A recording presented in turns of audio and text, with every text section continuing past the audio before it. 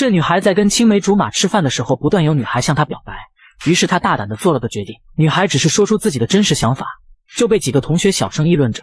上次小美穿了件新裙子，苏叶静直接说裙子不好看，她绝对在妒忌。那裙子很贵的，说话这么难听，所以大家才不愿意和她做朋友。朋友什么的我才不会稀罕。心里明明是这样想的，突然就看到一位男生来教室找她。刚才小声议论的同学看到竟然是郑树，都惊呆了。你在磨蹭什么？已经放学了吧？赶紧跟我一起回家。阿姨可是叫我督促你早点回去，不是说过让他别来找我了吗？而他却闯入了我的世界。现在回想起来，或许与他的相遇其实就是个错误。烦死了，这都是第几个表白的了？郑树此时也很头大。谢谢你的心意，但我不能和你交往。对面的女孩听到后立马站了起来。为什么我真的很喜欢？无奈郑树直接拉起了苏叶的手。因为我正在跟他交往，女孩直直的盯着苏叶，看得他心里直发毛。质问他：“你真的是他女朋友吗？”郑树怕露馅，连忙在桌底下碰了碰他的腿。苏叶挠挠头：“算是吧。”这种敷衍的回答很明显骗不了他。突然，女孩嘲讽起来：“他看起来那又矮，长得丑，气质也不好，看起来我才更适合你吧？”本来就已经不耐烦的苏叶拽着郑树的领带来了个亲密接触。那这样你该相信了吧？狗粮没吃饱，要不要再来一点？女孩和喜欢的男孩一起考上同一所学校是多么幸福的事情。苏叶，你有没有听我在说话？很显然，苏叶没有听到郑树的话，转头问他什么？我说你一个女生怎么可以做刚刚那种事情呢？苏叶却解释道：“那又有什么关系？我们刚刚又没有亲上，就跟电视上的错位一样了。”郑树修的脸头扭到一旁，没想到我一直保守的清白就这样被你玷污了。苏叶却淡淡说了一句：“这都怪你老是招蜂引蝶吧？”郑树就大声的解释着：“我根本不认识那个女生。”她跟个跟踪狂似的，简直毛骨悚然。普通的方式根本拒绝不了她，所以才找你帮忙。苏叶在一旁露出鄙夷的表情。不过万一刚刚的事被你同学看到了，我倒是无所谓。但你会被别人误会吧？还是说你其实偷偷喜欢我很久了？这句话像是戳中了苏叶，抓起郑树的手掰了下去。疼痛可以让你的脑子清醒一下。郑树正捂着手喊痛，却听到后面两个女同学在跟他打招呼，便瞬间换了另一种表情过去搭话。苏叶瞬间无语了，脸变得真快。不愧是完美男神，而苏叶却认为，如果需要伪装的去迎合他人，那宁愿独自一人，这才是青梅竹马的正确打开方式吗？教室里，苏叶正沙沙的在纸上画画，后面却突然传来的声音：“哇，好厉害，细节刻画的好到位。”苏叶被吓了一跳，心想：为什么突然和我说话？好尴尬。回头询问他们有什么事吗？同学介绍的自己：“我是你的舍友，附近有家店很火，放学后一起去吧。”面对舍友的邀请。本不该拒绝，可是又有点想留下来把画画完，而且觉得自己去了一定会破坏气氛。同学还在介绍着那家店里的蛋糕很好吃，苏叶却说我不爱吃甜食。一旁的室友拉着他说：“别说了，木子，你听不出他一点都不想跟我们一起吗？”便拉着他离开了。苏叶心里想着，所以我又搞砸了，于是便戴起了耳机。只要躲入画画的世界，就什么事也不用想了吧。画面一转，来到了晚上，郑树在外面寻找苏叶，在画室了看到了他，走过去。拔出苏叶嘴里叼着的笔，说多少次了，画画的时候别老叼着笔。苏叶又被他吓了一跳，你从哪冒出来的？两个人坐在一起闲聊。喂，大树，我觉得我这么多年来毫无长进，总是会无意的伤害到别人，每当发现时却太晚了。郑树扑哧一声笑了出来，苏叶无语住了。我说你为什么笑啊？这很好笑吗？郑树挥挥手道了个歉，又摸着他的头说，我只是没想到啊，一向独行的你。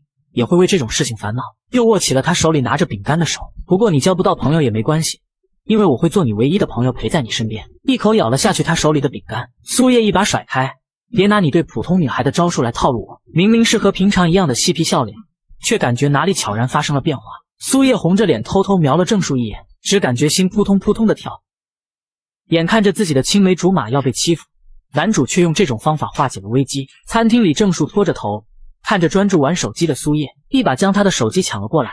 你从刚刚一直盯着手机，看到现在到底在干什么呀？打开你的手机一看，上面写着如何是让对方道歉。郑说哈哈大笑，这是查的什么呀？苏叶表示随便你笑吧，反正我就是这么不善于表达。郑树好像看穿了他的心事，就让本大爷我帮你出个主意。不过我有个要求，就是请我吃这个。苏叶爽快地答应了下来。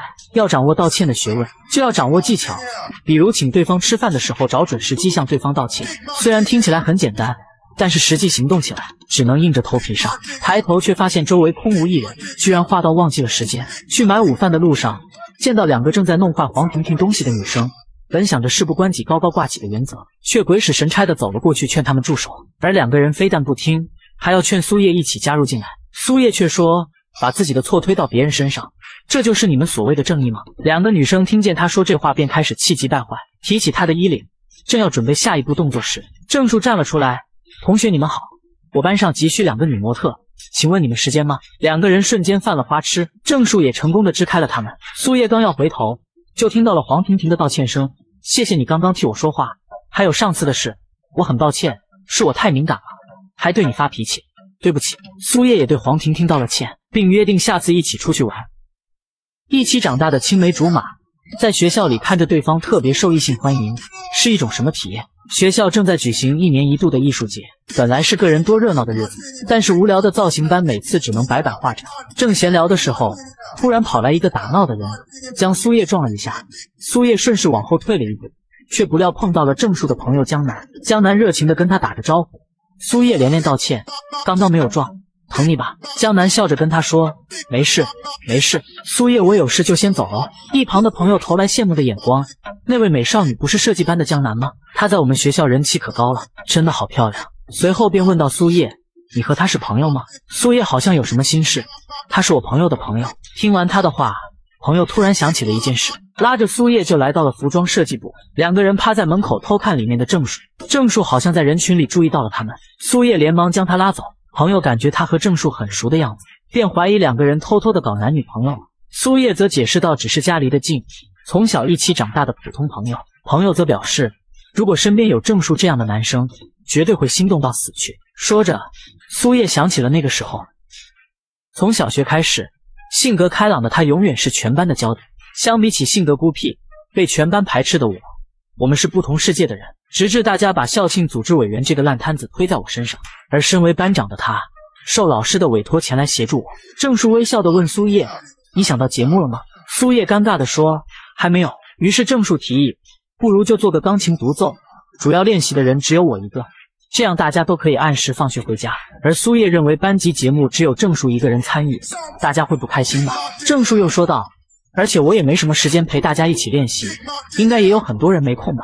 只要能风风光光的演出，拿到奖项不就好了吗？苏叶还是感觉哪里不太合适，郑树便问到他：“那你有什么更能让人满意的主意吗？”苏叶表示：“比如大合唱团，这样大家就可以一起。”郑树又站起来说道：“合唱团又麻烦又没有中心，还是采纳我的主意比较好。我们两个人的主意，大家会听谁的呢？”苏叶砰一下站起来，桌子上的铅笔盒弹到了郑树脸上。是啊，你是班里的中心，大家根本不会在意我的话。就算是这样，我也一点不在乎。你这种私自消磨别人热情的家伙，我最讨厌了。说完便哭着跑了出去。那个时候，我不知道为什么，眼泪像断了线的珠子，止不住的往下落。这是我第一次为这种事而流泪。本以为隔天会引来老师的批评，但出乎意料的是，他把事情当做没发生过一样，而且还采纳了我的意见。最后，班里的合唱节目完美收场。还有一点，从那以后。他每天都会出现在我的眼前，还给我起树叶这种奇奇怪怪的外号，这也迎来了我第一个朋友。我们的世界就这样交织在一起。这个女孩还在走神，一张手伸出来将她抓进了角落里。苏叶问她在搞什么鬼，郑树却神情慌张地看着墙外，小声点：“我在躲服装部的人。”原来是因为服装部总是要不停地换衣服，郑树累了想休息下。听他说完这无聊的理由，苏叶便要走。你偷懒干嘛扯上我？见他要走，郑树一把拉住苏叶，表示自己有件重要的事，只有他才可以做到。苏叶还在想究竟是什么事，郑树却挠着头，让苏叶去帮忙买瓶草莓牛奶，因为这几天为了维持形象，只在大家面前喝黑咖啡。苏叶表示就这点小事还来麻烦我，两人便拌起了嘴。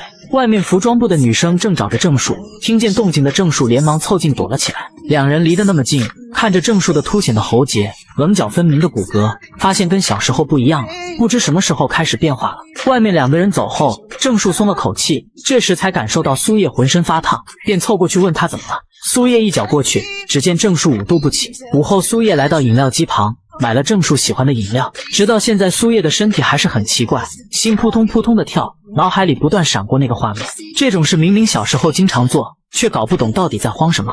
苏叶来到教室，偶遇到江南，江南问起有没有遇见郑树，苏叶犹豫了一下，说自己没看见他。虽然是像往常一样帮他圆谎，但从这一瞬间，焦虑不安蔓延到全身。苏叶想不明白这种心情是什么，但只感觉有些东西即将失去。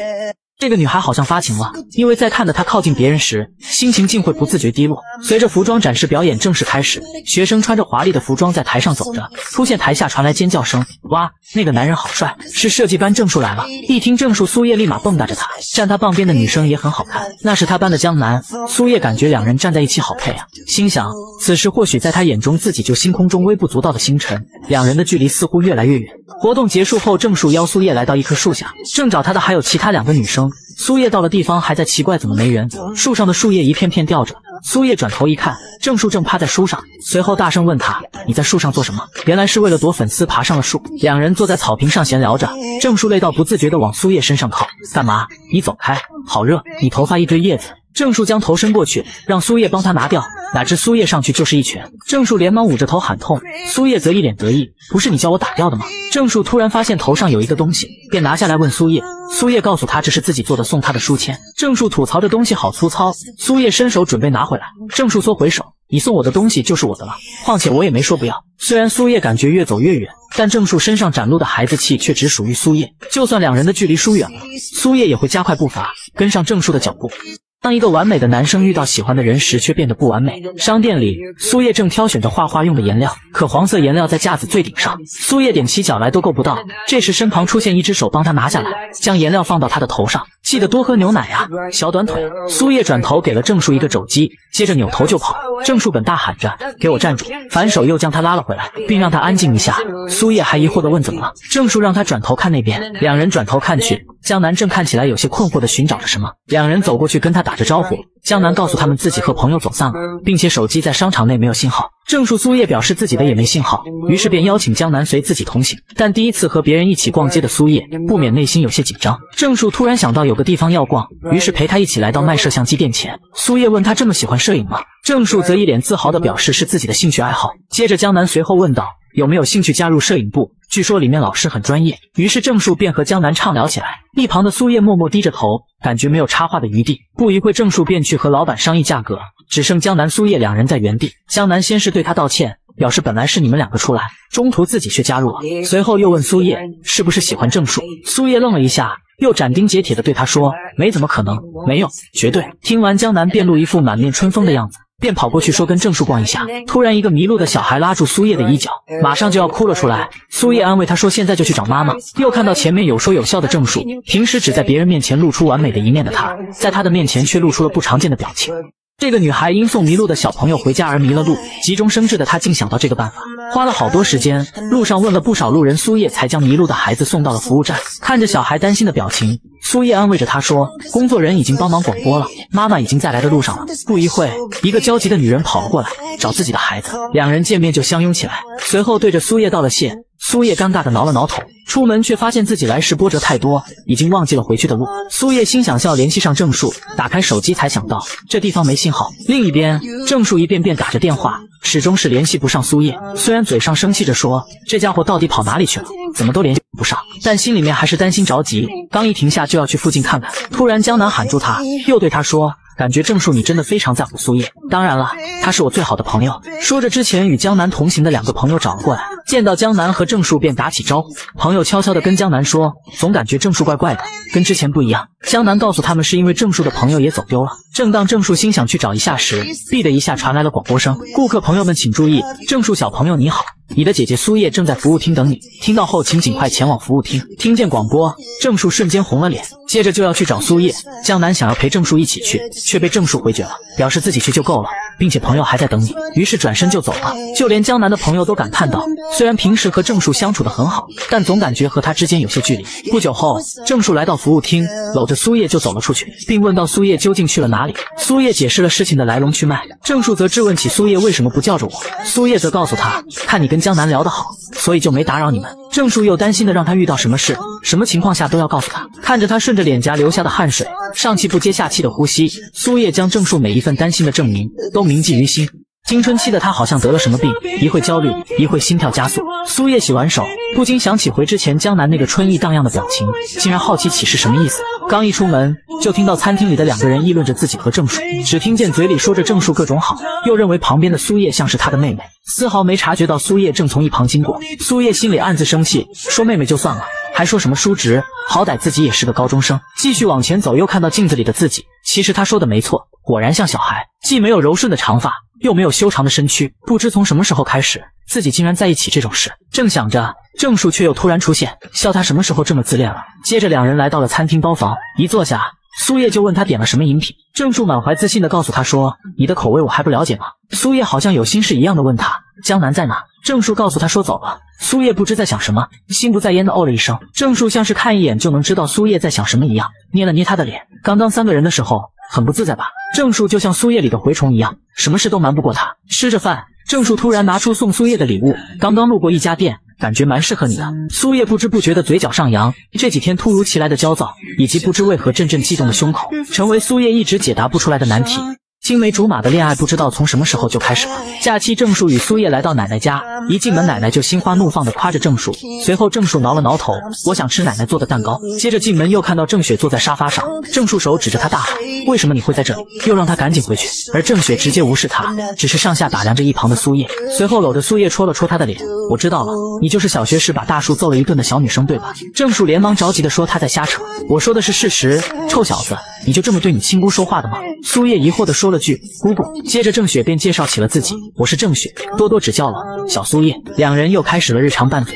画面一转，奶奶带着苏叶来到了郑树房间，这次没料到姑姑来了，只能委屈你先住郑树的房间了。接着苏叶道了谢，并表示自己住哪里都可以。奶奶走后，苏叶仔细打量了下屋子，发现墙上挂着各种小时候的照片，乍看一眼才发现。原来已经一起度过了这么多春夏秋冬。随后发现有一张反着贴，有些好奇，便将它拿了下来。没等看完，郑树突然进来：“树叶，你东西弄好了就快走吧。”苏叶连忙贴了回去：“我们要去哪呀？你忘了我们此次的目的了吗？当然是去海边啊！”就这样安安静静的晒太阳，果然大海是最棒的。嗯，这是什么东西？鲨鱼？这时候郑树冒出来，原来是鲨鱼玩具。谁让你吓唬人的？看我怎么教训你！郑树神色有些慌乱，让我看后面。我发现了身后的浪花，但还是嘴硬的说不会上当。就这样，我跟郑树掉进了海里。我们注视着彼此，刚心动了一下，我们就双双掉进海里。幸好我抓住了游泳圈，不过我刚刚是不是踩了郑树？果然郑树炸毛了，偏要说我谋害他。我感觉有点累了，便先上岸了。为什么一靠近大树就会头脑发热、心跳不行，而且根本冷静不下来？我买饮料的时候，听到两个小流氓欺负一个小姑娘，那些人一看就是变相搭讪小姑娘，都没人帮忙吗？我拿过纸巾递过去，衣服脏了用纸巾擦擦也可以吧？小流氓显然不买账，说我替那个小姑娘陪他们也行。我手足无措的时候，一个棕色头发的男生挡在了我面前，他是谁呢？宇宙递过来一瓶喝的，说这是我点的，我接过道谢，没想到宇宙说让我到店付款。小流氓揽过我说去别的地方玩。我让他自重，小流氓依旧不依不饶，还让我跟他一起玩。宇宙也有点不知道该怎么办，小流氓对我的骚扰还在继续，我忍无可忍了，直接上功夫教育了下那个小流氓。周遭的人都惊呆了，可我分明没用多大力气啊！挨打了的小流氓还是不依不饶，扬言要收拾我。还没动手，郑树就走到小流氓面前，表情威胁意味十足。面对大树的突然出现，我不争气的脸红了。郑树掐着小流氓的脖子，恶狠狠地说：“所以要去玩嘛，顺便也带上他呗。”小流氓吓得落荒而逃，说：“今天遇上我们这群怪咖，算他倒霉，他才不稀罕跟我们这群怪人一起。”说话间，余昼把喝的递给我，原来他没走啊！我的脸怎么又红了？我谢谢他的饮料，还有帮我解围。余昼让我别会错意，他只是送饮品而已。夜晚的院子最适合烧烤了，这些东西看着都好好吃。郑树问我要不要尝尝烤棉花糖。外脆里嫩，我才不要不呢！我懒得理郑树，拿了些给郑姑姑。郑姑姑让我喊她姐姐就好了。郑姑姑问我认识郑树多久了，从小学三年级算起的话，应该有七年了。郑姑姑又问我知不知道他父母的事，勉强知道一点吧，毕竟他不常提起。郑姑姑说郑树还是一如既往的胆小。郑姑姑说他刚来家里的时候，明明是那么小巧可爱，但大大的眼睛里却看不到一丝光彩。也不知道从什么时候开始，性格竟变得像现在这样扭曲，看了真让人不爽。郑姑姑话锋一转说：“今天看到我们这样，她就放心了。只是不知道以后我们会有什么变故，还说什么大树就拜托我了，还让我赶紧发现。我问发现什么，郑姑姑说我以后会懂的。郑姑姑说的到底是什么意思呢？在未来的某一天，我真的能明白吗？喂，能不能走快点？我叫苏叶，现在是明阳艺术学院的高一学生。”这是我的发小郑树，我们是一起从小镇考上来的。今天我们说好早起，一起去买点土特产，都是因为郑树磨磨蹭蹭，导致商品已经全部卖光了。不过店内正在举行活动，只要通过几个关卡，就会获得抽奖机会，凡是情侣都可以参加。郑树满心欢喜的问我，奖品还不错，要不要参加？我只是冷漠的白了他一眼，大哥别开玩笑了，我们又不是情侣，而且好麻烦。我的话音还没落，就听到店员小姐姐说道：“一等奖有五万奖金，还有神秘大奖。”我一个冲刺站到郑树前面，大喊道：“我们参加！”郑树看着我说：“你刚刚不是说嫌麻烦？”我看了他一眼，这种好机会岂能错过？至少还能赢回一个礼包。小姐姐递给了我们一张卡片，解释道：“根据这张卡片上的指示，到指定地点完成任务，通关之后就可以获得下一个任务指示。那么祝你们成功！”我们研究着卡片，来到第一关的位置。第一关就是玩具枪射人偶的射击任务，射到中间的人偶就算获胜。在五分钟内三次射击机会，请好好把握。郑树轻轻一笑：“啊，这也太简单了吧，不用三次，我一发就可以搞定。”我半信半疑的问他，他却已经把枪架好了，射击姿势跟我炫耀的说：“别小瞧我这是双锐利的眼睛，这就让你见识一下什么叫高超的枪法。”对于郑树来说，简直是轻轻松松。郑树一个帅气的瞄准，第一枪猫咪耳朵擦边。第二枪，猫咪脚擦边，只有最后一次机会了。我忍无可忍，一把将玩具枪抢了过来，拿来吧，你看姐的，一枪命中，轻轻松松。店员小姐姐拍手恭喜，这一对小情侣顺利通关，请接收下一个任务指令。就这样，任务一个接一个。先是抓娃娃，郑树看着我给我加油；后是投篮球，郑树抱着我把我举过头顶。终于来到倒数第二关，任务是在五分钟之内取出洞内指定物品的是胆游戏。工作员小姐姐拿着话筒嘱咐的说了一下：“地面湿滑，请大家务必小心。”之前都是我在做任务，终于轮到她展现了，给她得意坏了。要是害怕，可以躲在我身后。她不屑一顾的轻飘飘的说。不过她在不知不觉中确实比小时候要坚强了。洞内安静的可怕，只听见她突然尖叫，一个水滴的声音给她吓成这个样子。我刚在洞外，内心还没夸完，就给我整这出坚强个鬼啊！我拍拍她说：“要是你真的这么害怕的话，奶，你先到外面等我好了，我自己去把东西拿出来，很快就出去。”喂，郑树突然叫住了我，一把抱了上来。喂，等一下。洞里安静的，只有水在滴答滴答，还有我的心跳扑通扑通。我害羞的脸涨得通红，只能朝他大吼，缓解紧张尴尬的气氛。你吃错药了吗？快放开我啊！我不要。听到他声音很小，很害怕的说道。我心一颤，是不是他真的太害怕了？他小时候胆子就很小，我是不是不该把他自己放在这里？谁知道这小子却突然喊道：“刚刚好像有什么凉凉的东西碰到我的脖子了，救命啊！”我心里不知道翻了多少个白眼了，果然关心这小子简直多余。我无语，但是不得不安慰他说：“那只是水滴罢了，你现在最好赶紧放开我。”我上前捡起刚才被他碰掉的帽子，拍了拍尘土，重新戴上后，把帽檐压得很低，因为我紧张的感觉现在周围都回荡着自己剧烈的心跳声，这样奇怪的自己绝对不能被他发现。树叶，他突然叫住我，给我吓出一身冷汗。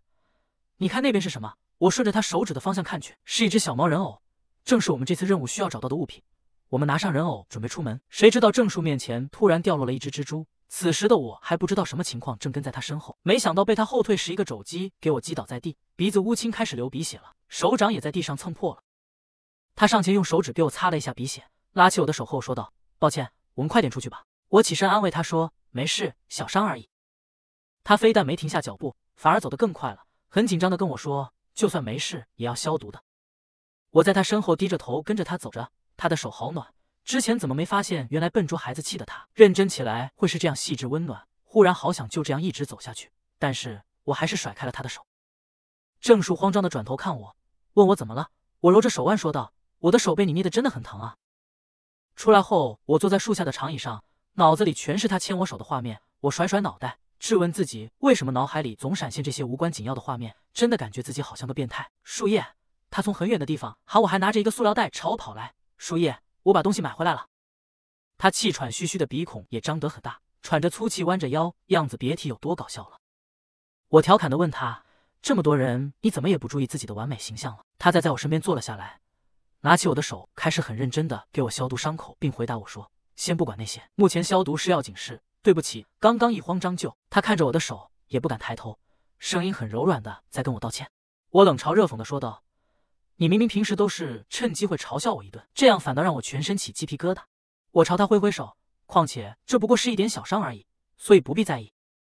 他看我没事，倒是开始调侃我说：“要是之前的你都是一拳落在我的脸上。”我斜眼坏笑的看向他，所以你现在还想感受一下吗？他尴尬的笑着看我说：“那还是没这个必要了。”我们相视了一下，都被对方逗笑了。在这个夏天，这个晴朗的上午，两个人不知道在因为什么而笑得如此开心。唯独在你面前，我才能做回最真实的自己。仅仅是这样的对笑，便足以让我褪去所有不开心。我们的关系像是冬日里最最温暖的被窝，柔软与温柔恰到好处，让我深陷其中无法自拔。此时，工作员小姐姐打断了这份美好氛围。恭喜两位情侣来到最后一关，规则很简单，只要拍下你们的亲密互动就可以了。我们尴尬的看了看彼此，看到别的情侣用胳膊比爱心，也打算尝试那样比爱心。可是我们发现我们俩的身高差悬殊有点太大，我根本够不到他。我们又尝试了好多其他的动作，要不就是表情太僵硬，要不就是四肢太僵硬。已经准备放弃的时候，他突然把我搂了过来。这样可以吧？他问工作人员小姐姐。小姐姐点头表示可以的。两个人可以稍微头靠近一点吗？准备好了吗？要拍喽！没想到在按快门的时候，被旁边的情侣碰到了肩膀，我一个踉跄，居然亲到了他的脸上。我们两人石化在原地，他脸红彤彤的替我解释，刚刚那是意外，所以你不用在意。我满脸嫌弃，心里默默的想，其实我根本没往哪方面想，只是闻到了一股油腻腻的汗臭味，好恶心。终于可以抽签了，我满脑子都在想着一等奖，结果抽到了特等奖。店员小姐姐去后面的箱子给我找特等奖去了。我站在原地，满心欢喜的在想特等奖是什么。一等奖已经好多钱了，特等奖肯定更值钱。结果他拿出了一个猫咪玩偶，我拿着玩偶和他看着别的也抽中了特等奖的情侣打情骂俏、卿卿我我的，脑子里突然浮现出刚才我不小心亲到他的画面。我要回去了，我只能用逃跑缓解此时的尴尬。我开始大步的往家的方向走着。几度吹翻帽檐的夏风，路边三两情侣的笑声都挡不住炙热的心跳声。我像一只落荒而逃的兔子，真希望这个奇怪的夏天能早点结束。夏天的夜晚，清风吹的树叶沙沙作响，还有稀疏的虫鸣。回到家后，我盯着这个特等奖，满脑子都是今天我不小心亲到他的画面，这种感觉好奇怪，时不时从内心深处源源不断的像自动涌现出的一阵阵炙热的躁动，究竟是什么呢？半夜的时候总感觉好热，烦躁的我挥了一下手臂，突然感觉砸到了什么。大树，你怎么在这里？你不是在书房吗？我非常震惊，坐起来看着他。郑叔赖在床上懒洋洋地说：“这好像是我的房间吧？我爱怎么睡怎么睡，要走也是你走，我可不走。”我使出浑身解数，又是踹他，又是扯他的腿，累得气喘吁吁。忙活的半小时，这家伙一点位置都没移动。算了，我还是在一边睡吧。夜晚的虫鸣，空调的隆隆声都导致我睡不着觉。你睡了吗？我们几乎同一时间说出来。我们又同一时间回答对方干嘛？什么事？这一幕给我们逗得在床上哈哈大笑。我掀起了一个话题，那个照片抢我看了，抱歉，擅自看那张照片，那张被你隐藏起来的照片和你父母。其实我的话还没说完，郑树突然打断了我。啊，好困啊，我先睡了。郑树把整个身子都转了过去。果然，他依然很忌讳这个话题，所以我一直以来也尽量闭口不问。就算此时我们靠得如此接近，但之间却像隔着整片银河。我向他解释道。虽然我没有任性到你能够和我讲述这一切，但还是希望你能够多依赖我一些。说完话后，感觉他许久都好安静，该不会真的睡着了吧？我转头去看他的时候，发现他也正在看我，他好像也吓了一跳。我急忙转回来，脸已经涨得通红了。他起身离开了房间，关门的时候还不忘说了声晚安，然后就把门轻轻关上了。此时的世界另一个地方，一个少年正刚洗完澡，擦着湿漉漉的头发。喝着冰箱里刚拿出来的水，沙发上的男人调侃的和他说着玩笑话。听说你今天帮助了被搭讪的女生，怎么突然开窍了？过几天你要回归校园生活了。我想说的是，虽然一直埋头苦读是好事，但可别迷失方向啊！宇宙，夏天的清晨是如此美妙，可是我被郑叔拉着必须吃早餐，导致我现在快要迟到了。画笔什么的都没有准备，这条路为什么这么长？什么时候才能走到啊？我停下脚步，看着路旁的栏杆，兴起邪念，要不要翻过去？突然发现栅栏下方有个不大不小的狗洞。我准备从洞里爬进去。学长，这是我做的蛋糕，多亏了学长的照顾，我在画画上有了很大的进步。真倒霉啊，费了九牛二虎之力，刚爬进来就遇见表白的，现在要倒回去吗？可是美术楼明明就在眼前了。不需要，别会错意了，那只不过是我应负责的工作内容。话说好了吗？我可以走了吧？对面的男生冷冰冰的说道。被拒绝的女生拿着蛋糕，带着哭腔朝远方跑去。我只感觉这种情节似曾相识。我躲在草丛里谴责着，这样对女孩子说话太过分了吧？算了，等外面那个人走了就可以出去了。喂，你躲在这里做什么？男人冷冰冰的在我背后盯着我，给我吓出一身冷汗。我快速起身，都没正脸看他，一个冲刺跑了出去。坏事了，先不管了，现在六位上级。坐在教室后才松了一口气，还好在老师之前抵达了，真是累死了。此时老师后脚就进来了，同学们安静一下，下面我有事情要宣布。同学们熙熙攘攘的在讨论什么事情，是布置作业，还是又要开又长又无聊的会？接下来宣布的可比布置作业还要让人吓一跳。进来吧。接下来的课程中将由高二年级的宇宙同学担任我的助手，一起辅导大家。大家掌声欢迎！我一个大震惊啊，这不就是刚才那个男生吗？宇宙学长在我们学校可是很出名的，据说是学校非常重视的一名特优生，还得过许多艺术奖项，有才又有颜，特别是那股高冷的气质，是全校公认的冰山帅哥。他出名还有另一个原因，还没等花痴一号说完，花痴二号就打断了。学长，请问你喜欢那一类型女生？谁知道帅哥回答的竟然是。我拒绝回答这种无脑的问题。花痴一号又接着补充他刚才没说完的另一个原因：他出名还有另一个原因，就是他这样毒舌属性的回答，反倒在学妹中更具人气。我倒没觉得有什么不一样，不过有一点我比较在意，好像以前就见过他，看着有些眼熟。一晃眼，放学铃声都响了，我什么时间睡着的都不知道，还是以这种奇怪的姿势，也不知道现在几点。看了眼手机，发现全是郑树的消息。我到门口了，喂。怎么还没来？不是说好十二点在饭堂门口见的吗？好多问号。我慌乱的收拾书包，心里在想：坏事了，得赶紧过去了，不然等会又要被大叔念叨很久了。我起身时，余光瞥见了那个今天来助教的男生余昼，他怎么会在这里？现在不是已经下课很久了吗？而且看起来他似乎没发现我也在这里。他好像在画什么，说不定与课程有关。我躲在画架后面，偷偷的看了一眼他在画什么，定睛一看，画本上竟然是一个长发的女生。他好像在画什么？说不定跟课程有关。我努力的看着画本，他居然在画一个女生，可是这个角度真的看不清是什么样的女生。算了，我还是赶紧走吧。大树还在等我。突然传来了一阵音乐，我趴在画架后面，这声音好像在哪里听过。小心翼翼的偷瞄，居然是他在玩游戏，而且还是这种萝莉角色的扮演游戏。而且仔细一看，他画的不就是游戏里面的主角形象吗？这样的话，听到和看到的他差距也太大了吧？这家伙背地里是个二次元萝莉控宅男吗？感觉好像知道了不得了的事情，趁他还没发现，还是赶紧溜吧。结果郑叔一个电话打了过来，这下糟了，为什么偏偏这个时候打过来啊？赶紧给挂断了，希望他没有发现我。结果他直接出现在我面前，像要杀了我一样质问我：“怎么又是你？”看来这一次逃不掉了，只能硬着头皮上了。但是要怎么说才好呢？结果我还没想好咋说，他倒是先发制人了。这些天在背后不断搞小动作的人就是你对吧？我直接一个大问号，什么鬼？他接着说着，一开始感觉对我没什么影响，就一直装作不知道，直至最近周围和我有关的事物一件件消失。你未免太得寸进尺了吧？我赶忙解释啊，你是不是搞错什么？凭什么我要被你这样说啊？我才没做那种事，我们两个谁也不让着谁。他指责是我，说着不是你还有谁？现在证据确凿，我也直接怼回去，鬼知道，反正不是我。我也懒得跟他继续耗下去，随便吵了两句，扭头走掉了。来到餐厅后，郑树看着一言不发的我。问我，所以说刚刚有个学长没弄清楚情况，就一股脑子冤枉你。我恶狠狠地咬了一口饭，回答了一声：“嗯。”虽然说被人误会并不是第一次，无论是从哪个方面上，每一次我都抑制自己的情绪不去理会，因为我啊就是这样不善于表达的人。但是这一次，这是我第一次这么耿耿于怀。郑树看着我，都已经过去这么久了，还在生气，叹了口气安慰我说：“其实说真的，当时就你在现场，难免会被误会，而且还是两次。”我含着勺子回答着：“我知道啊，但是在当时那样的情况下。”如果是你的话，也会生气吧？郑叔看了看我，夹了一块鸡排放到我的碗里，说：“那让这块外酥里嫩的鸡排安抚你受伤的心灵吧。”我看着鸡排上的牙印，朝他喊着：“喂，这块不是你刚刚吃过的吗？”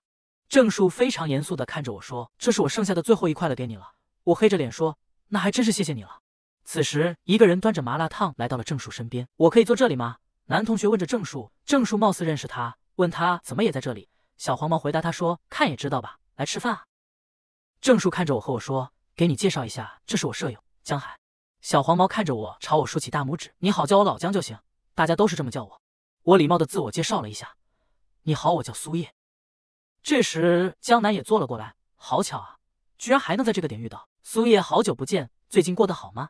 我尴尬的回了句：“呃，嗯，挺好的。”小黄毛打断了尴尬的气氛。对了，刚刚社团里发的资料，我帮你拿了一份。郑树接过资料，谢了一下。我好奇的问：“什么？社团？”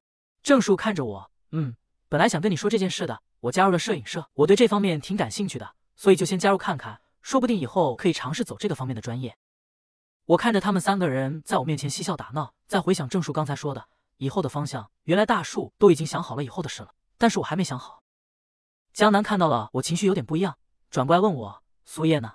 你加入什么社团了？”我尴尬的笑笑：“啊，我什么也没加入。”小黄毛正看着我和江南聊天，悄悄趴在郑树耳边：“喂，他那里像你所说的那样暴力，明明很小巧可爱啊。”郑树补充说：“那是你还没见识到他的威力，不过他啊，就是个刀子嘴豆腐心的别扭家伙。”小黄毛把手搭到了郑树肩上，说道：“那能不能帮哥们个忙？能不能给我他的联系方式？”郑树甩开他的胳膊。你别开玩笑了，他不会同意的。黄毛嘻嘻笑着说：“别那么快拒绝我嘛，你怎么知道他愿不愿意？说不定我可以呢。”你就还没等他说完郑树，就打断了他。你想要自己找他问去，我不会给的。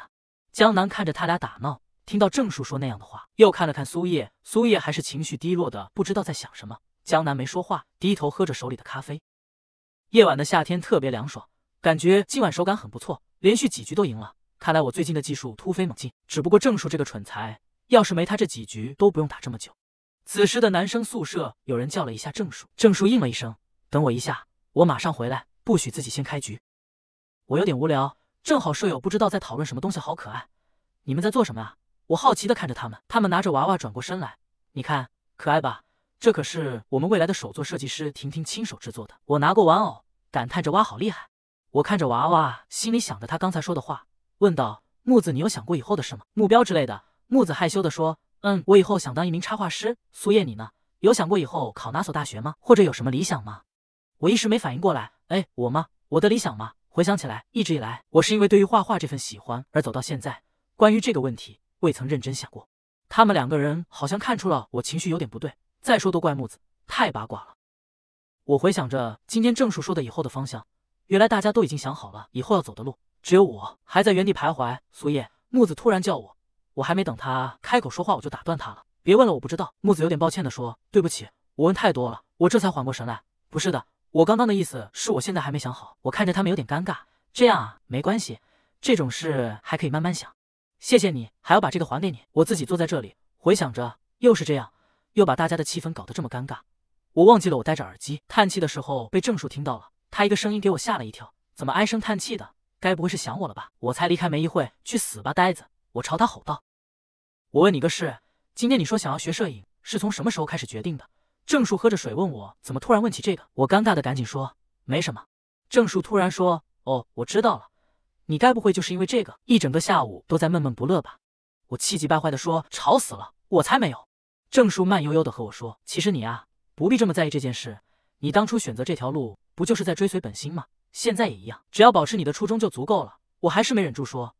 你这些话听起来意外的中二，不过还是谢谢你。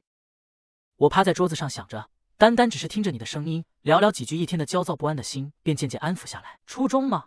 话虽这么说，但是这个问题还是困扰了一整晚，想象不出未来的自己是什么样子，毫无头绪。第二天早晨，我拖着疲惫的身体进教室，就看到了一个娇小的身影，不知道在鬼鬼祟祟什么。我手里的东西没拿住，掉落了。他转身后，我就看见了他在翻宇宙的书包。原来这些天在背后搞小动作的人就是他。我突然喊他，好像把他吓到了。他的膝盖撞到了桌子，把宇宙的书全部撞到了地上。他站起身，匆忙的跟我道歉，就逃跑了。但是他至少把东西捡起来吧？这种事怎么又要我来做？我给他把本子书都捡了起来，捡铅笔的时候居然被宇宙看到了。整个美术室安静的可怕。我咽了一下口水，他是从哪里冒出来的？这下人赃并获了，跳进黄河都洗不清了。我一个先发制人，这可不是我做的。没想到他却说我知道。我满脸问号啊！刚刚我在走廊上都听到你的声音了。而且这书包是我故意放在这里勾引他上钩的。每一次见到你，你都是处于麻烦之中。上一次在海滩也是，你是不是忘记了？我倒是很印象深刻。暴力女，我想起来了，你是上次那个奇怪的店员，怪不得之前总觉得这个人很眼熟。他突然和我道歉，上一次误会你的事，我很抱歉。气氛突然很尴尬，我们两个人都没说话。最终还是他打破了这个安静，就算不接受，好歹也说句话吧。没有，我只是很震惊，你居然也会道歉。我连忙解释回答。还有，你为什么要故意对女生说那些过分的话？其实你内心并不想这样说的，对吧？宇宙看了我一眼，哈，我突然反应过来，我是不是又多管闲事了？抱歉，请当我没说过。我摆了摆手。宇宙深吸了一口气说：“因为不管我每次如何回复他们的感情，都只会伤到对方的心。泪水以及指责，这种愧疚感让我不知所措。所以我想要一开始就避免这种事。”我看着他，原来他所表现出来的恶劣态度，并不是真的因为讨厌，而是因为害怕吗？我调侃他说：“其实你并不擅长应付女生吧？而且你这么做也同样伤害到对方啊。但是只要有认真的回答对方的感情，相信他们会明白的。就算这份感情得不到回应。”但是默默的喜欢对于我们来说，或许是另一种满足。我们，宇宙突然质问我：“对哦，什么我们啊？我到底在乱讲些什么东西啊？”而且这家伙又在忘我的打游戏。我小声的问他：“还有一点我挺好奇的，你上次为什么要躲起来玩游戏？明明在大家面前玩又没什么。”突然的大喊：“不行！”然后捂着嘴小声的说：“要是被别人知道我在玩这种游戏，会觉得我很逊的吧？”我一个扑哧没憋住，他害羞的朝我喂了一声。我善意的提醒他。你的手机响了，快点点击这个 NPC，这样才可以触发下一条隐藏线。他看着我盯了许久，说：“你你挡到我视线了。”我尴尬的赶紧离开，解释我的石膏忘记收起来了。结果我跟宇宙在一起的画面被郑树看到了。江南侧过身问郑树怎么了，郑树冷漠的说：“没什么，我们走吧。”江南在郑树后面跟着，又看了看郑树刚才看过的窗口，夏天的风吹着树叶沙沙作响。江南抱着书若有所思的跟在郑树后面，似乎在想什么。在很久很久以前。国王与王后诞下了一个可爱的公主，但与此同时，邪恶的黑女巫向幼小的公主施下一个诅咒，那就是永远只能如同影子般生活，难以被别人记住。而公主有一位聪明勇敢的哥哥，被世人所赞颂。许多年过去了，小公主就如同她的影子，一直生活着。这一个难以被别人所注意的公主，世人称她为影子公主。小姐，您的晚餐准备好了。江南和尚说：“今晚怎么这么早啊？”因为少爷回来了。夫人吩咐。还没等佣人小姐说完，江南提着裙子往楼下跑去。门外是人们的说话声。这一次回来打算待久一点吗？不了，医院那边还有很多研究报告等着我。这个声音是哥哥的。江南看着门外，听说这次研讨会非常成功，你做的很好。哎，要是你那不成器的妹妹跟你一样省心就好了。爸，你怎又说这个？小南他也非常努力，努力，每天都在弄那些乱七八糟的东西，什么服装设计，简直就是在浪费时间。江南话也没听完，转头走掉。小文，我胃不舒服，晚饭不吃了。小文担心的问江南，江南扶着楼梯扶手，转头朝小文做了个鬼脸。放心吧，小文，这次我是真的真的胃不舒服。江南上楼关上房间门。没错，哥哥从小就非常优秀，众望所归。于我的父母、老师以及朋友而言，他才是大家所需要的那个人。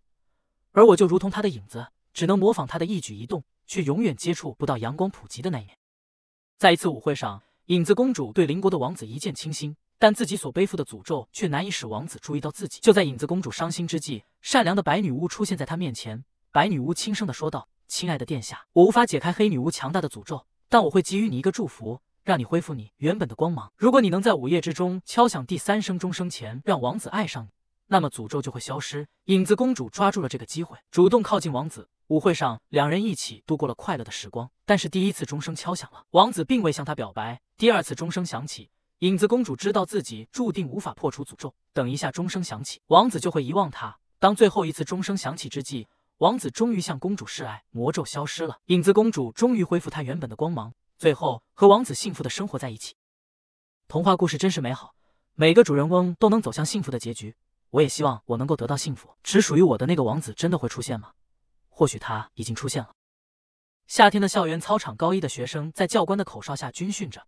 站好了，还有九十秒才到两小时。江南热得有点发晕，想吐，拍了拍脸，使自己清醒一点。如果在这里吐了，太尴尬了。此时，一个男生正在研究相机，自言自语：“这种相机我懂一点而已。”随便拍的时候，看见了江南。那个女生脸色好吓人，她没事吧？江南用手捂着嘴，快撑不住了。还好教官说了一声解散，但是江南已经晕眩的倒地了。好在江南在倒下的瞬间被人抓住了手臂。江南用最后的力气睁开眼睛，想看清楚是谁。同学，振作一点，同学。江南清醒后，看着前面的男生，心脏跳得飞快。在他的视角下，前面的男生就是王子。他隐约的记得，对面的男生是同班的郑树同学。虽然之前就觉得他长得挺帅，但感觉今天的他格外耀眼。郑树不敢正眼看他，非常纳闷的在想：话说，从刚刚开始就发现那女的怎么老盯着我看？是我脸上有什么东西吗？郑树看了看手里的水，难道他想喝水吗？江南也被郑树的热情吓了一跳，连忙谢谢。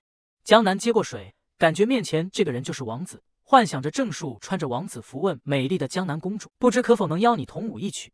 江南拿着童话书，幻想着大喊我愿意。这才发现自己到底在做什么羞耻的白日梦。不过我的王子似乎有了在意的人。江南摇了摇脑袋，暗示自己别乱想了，特意和他一起报了摄影社，明天又可以见面了。想送这副手套给他，会不会有些太夸张了呢？这里的枝花竟然错线了，怎么办？是重新做一副呢，还是临时改一下线？算了，今天熬一下夜，应该可以重新做一副出来。江南把头发扎了起来，所以一定要做的最好，只有最完美的礼物才能配得上最完美的王子。虽然我不会遇到善良的白女巫，但我可以更加的努力，或许可以吸引住王子的目光。起风了，我看着漫天的飞舞的黄叶，心里想到：果然秋天到了，感觉凉飕飕的。你站在那里做什么？怎么不进来？郑树站在门口问我，面容温和，身后突然冒出一个脑袋。苏叶来了，是之前的室友，还记得我吗？我是老江哦，江海乐，呵呵。结果被郑树一把拦过拉走，转头对我说：“快点进来吧。”我跟在两人的后面进入房间，这就是摄影社啊！我东张西望的看着，那边师兄叫两人去帮忙，郑树叫住我：“树叶，你在这里等我，我马上就回来。”我点点头，有些害羞：“什么嘛，又不是小孩子。”我脸颊微红，这时有人拍了拍我的肩膀：“苏叶，你来了。”是江南。我一转头，看到一个灿烂的笑容。赵叔他们呢？在那边。我给江南指了指方向：“谢谢。”那我先过去了。江南面色愉悦，快步走上前，我的心中却突然有些不知所措，看着他们其乐融融的背影，若有所思，差点忘了他也同样加入了摄影社，总感觉心里有些乱糟糟的。说到兴起时，江南把手搭在了郑树的身上，我注意到了，心中暗暗有些不爽。不对，我到底在不爽些什么？意识到了自己的心里突然有点尴尬，我扭过头不去看他们，安慰自己，我又不是他唯一的朋友。就在我出神的时候，突然听见相机的咔嚓声，哇！这个表情够蠢，捡到宝了！喂，快给我删掉！我扑上前去，郑树却用手按住我的头。这可是我的新相机拍到的第一张照片，你不该感到荣幸。切，我才不屑呢！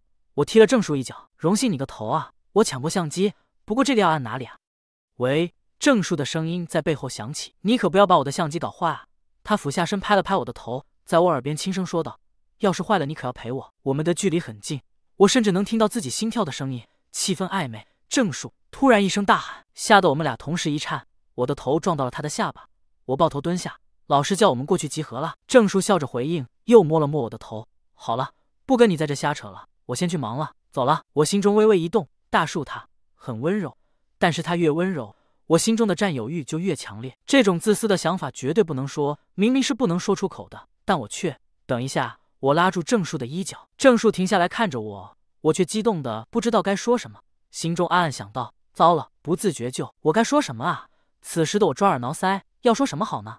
我实在说不出口，找借口溜之大吉。我要出去溜达溜达，有事打我电话。转头急匆匆的跑走了。搞什么呀？郑树傻呆呆的站在这里，不知所措。另一边，我出门之后几乎是飞一样，越跑越快，直到足够远之后，才逐渐停下来，喘着粗气，心中砰砰直跳，分不清究竟是因为刚才的事情，还是由于跑步。我心中还是紧张不已，抓紧了自己的衣角。我刚刚到底想说什么？心绪纷乱如麻，手机突然震动，我拿起看了看，这是一个微信好友申请，是宇宙学长。什么情况？十五分钟之前，在天台的某一个角落，宇宙学长正在手机上打小怪兽，手机嗡嗡嗡的响着。宇宙被打断，有点不爽。什么时候被他们拉进班群了？这么多消息都没法好好打游戏了，还是屏蔽吧。就在他点进去的一刹那。突然，一个账号吸引了他的注意力，是苏叶。看着可可爱爱的小猫头像，宇宙微微笑道：“真像他的风格。”宇宙的手按向了加好友的键，验证申请写什么呢？我是来和你讨论游戏攻略的，我是来催交作业的，我快通关了。不好，不好，都不好，究竟该说什么啊？此刻，宇宙陷入了深深的沉思。我究竟在纠结些什么啊？他简直自己都搞不懂自己，随便发过去就行了。先发送，他加了。宇宙又开始陷入新一轮的纠结，要先发消息给他吗？会不会太主动？等他回复是不是又太不礼貌？那还是砰的一声，我猛地打开天台的门，宇宙蹲在墙角，吓得一激灵。他怎么了？他来这里做什么？宇宙看着我想，我却没看见宇宙，自顾自的想着心里的事情，望向楼下，依旧是一片其乐融融的场景。我深呼吸，努力保持着平静，但并不如我所愿。宇宙张了张嘴。就听我冲着楼下喊，义愤填膺、气鼓鼓的大骂了郑树一通，语言打码不能听，一旁的于宙听见都怔住了。结果楼下的郑树根本没有听清这一切，还在回过头疑惑的找着什么。他似乎听见刚刚有人叫自己似的。你幻听了吧？算了，不想了。出了气的我坐在天台上，也觉得自己非常莫名其妙。我刚刚到底在干嘛啊？明明他什么都没做，但我心中却一片恼火，想不通。不过骂出来之后舒服多了，嘿嘿。我得意的坐在阳台笑出声，宇宙躲在一旁不敢出来。所以现在是怎样？一阵发火，一阵大笑。宇宙汗颜。而此时终于发泄出的，我终于注意到墙角有一个书包，好像看起来有点眼熟，是被人落下的吗？我想捡起书包，咦，怎么拉不动？我用尽力气，生拉硬拽，但是书包还是如石头一般纹丝不动，是被什么勾住了吗？我疑惑的往后面看去，只见宇宙一脸尴尬的望向我：“你，你怎么在这里啊？所以。”你为什么会在这里啊？我一脸黑线。宇宙转过头去，不愿面对。我很早就在这里了啊！本来想说的，只是你来的太匆忙。什么嘛？我还以为这里只有我一个人。我靠着墙角坐下。话说学长是躲在这里偷偷打游戏的吧？宇宙被说中心思，身体一抖。我继续说着，你突然加我是有什么事吗？一套操作下来，宇宙的脸热得发烫，心中暗想：要这么直接吗？我是来通知你，素描考试考得很好的。宇宙把借口说得理直气壮。我不疑有他，原来是这样。学长真是一个有责任心的人。怎么你知道成绩之后不是特别开心啊？我对学长的问题有些意外，但还是回答说：“我只是觉得，如果太看重名次的话，会渐渐失去我最初踏上这条路的初衷，变成我的枷锁。枷锁吗？”宇宙若有所思，回想起自己小时候因为第一张画而被表扬，但后来逐渐他的生活就在比较中度过。他坐在画板前，也失去了当初的笑脸。拿着画笔的手迟迟不肯落下。我宇宙刚想说什么，我的肚子不合时宜的叫了起来。果然发完脾气，肚子很容易饿呢。宇宙偷笑，我看着他的笑脸，原来他也会笑啊。等下他刚刚在笑谁？意识到这点的我有点不爽。宇宙打开书包，递给我一个饭盒，这个给你，我从家里带来的盒饭，好可爱的便当，而且吃起来也好好吃。这是出自厨神之手吗？我双眼发亮，过奖了，这是你亲手做的。我难以置信，没想到你这么喜欢美术这个专业，喜欢又能怎样？不过是徒有这份热情罢了。当别人问起我的未来时，我却什么都说不出来。但是有一个人跟我说，只要保持初衷就够了。想起那个人，我自己都没察觉到脸上的微笑。这个人莫非就是你刚刚狂骂那个？我被这句话噎住。没事吧？这个给你。宇宙递给我保温杯，不好意思的扶上我的背。我可不想别人吃我做的东西被呛死。那个人能使你反应这么强烈？想必对你很重要吧？是啊，很重要。他一直以来包容我，支撑我，这些点点滴滴都足以证明他对我是如此重要。是他的电话，怎么没接啊？郑树拿着电话疑惑道。突然，江南叫住了他，只有紧抱着东西的手透露着他的紧张。怎么了？郑树回答：“这个手套，请你收下。怎么突然送手套给我？”郑树还是一如既往的神经大条。江南一脸紧张，张了张口，还是没说出口。因为你平时帮了我不少忙。所以想要谢谢你，江南表面友好的笑着，心里大叫：讨厌！我到底在说些什么啊？来是拍了江南，同学来喊他了。江南匆匆把手套塞到郑树怀里。总之，请你一定要收下。那好吧，谢了。心里默默给江南发了一张好人卡，真是个讲礼貌的人啊。咦，窗外的是苏叶。走廊上，宇宙和我默默的前行。谢谢你的便当非常好吃。我礼貌的微笑。宇宙张了张嘴，表情晦暗不明。那下次我再给你做一份。当做你帮我通关游戏的谢礼，还有下一关也拜托你了。还来树叶？我转过头看去，是郑树啊，他怎么来了？我给你打电话怎么都不接？抱歉，我手机开静音了。我和大树聊起来，一旁的宇宙插不上话。那我先走了，明天见。转身离开了。他是谁？他是我们专业课的助教，就是上次冤枉你的那个学长。虽然是这样，但感觉他算是值得一交的朋友。我解释说。你那件事才几天，一下子就变成朋友了。你什么时候也变成这么肤浅的人？肤浅？你是说我吗？你该不会是吃醋了吧？我被说的有些恼怒，反唇相讥，但大树这次却没有反驳。如果我说是呢？我就是吃醋了，怎样？郑树恶狠狠地拉起我的兜帽。反正不管如何，你最好的朋友必须是我。我心中一阵悸动，大树这么说的话也太太犯规了。我低下头整理发型时，突然注意到了郑树手中一直提着的绿色礼品袋。这袋子，我记得是江南手里拿着的，心中突然涌起汹涌的失落。什么嘛？明明要求别人把它放在心中的最高位置，却收下了其他人的礼物吗？那你呢？你和江南是什么关系？我和他就是普通朋友啊。普通朋友会随便收下别人的东西吗？你这个喜新厌旧的家伙，这口气搞得像质问自己男朋友劈腿一样。本来义愤填膺的我，像被突然按了停止键，一下子愣住了。难不成他蹲下直视着我？你真的喜欢我了？哈哈，别以为我不知道你要干什么。郑树突然向后退去，奇怪，怎么没反应？他看着我的脸，看着我又惊又羞的双眸，也愣住了。看着没心没肺的郑树，我气急：“你说什么话啊？自己待着去吧！”一巴掌拍飞郑树，我又走在树荫下，刚刚那个样子肯定被他看到了，以后一定会拿这个来取笑我。我气鼓鼓的边走边想，后面的草丛中传来了沙沙的声音，我吓得一激灵，转过头看去，什么也没有，是错觉吗？你你好，我不由得吓得往后急急退去，撞在了树上。眼镜女孩不好意思的走过来，对不起，我不是有意吓你的，可以求你帮我一个忙吗？眼镜女孩弯下腰。对我伸出手，我突然想起了这个同学，你是上次那个？你好，我是造型 C 班的乔难忘。乔同学似乎非常害羞，抱歉，像我这样毫无存在感的人，名字却叫难忘，果然很奇怪吧？不，我可没这么说，而且这名字挺适合你的，你真是好人。乔难忘好像十分感动的样子，他容易激动的性格在某些方面上的确让人很难忘呢。我们坐在长椅上聊天，所以你刚刚说要我帮忙是是这样的。可以帮我把这个手帕还给宇宙学长吗？对，对不起，我知道是不对的，但是我就是控制不住自己。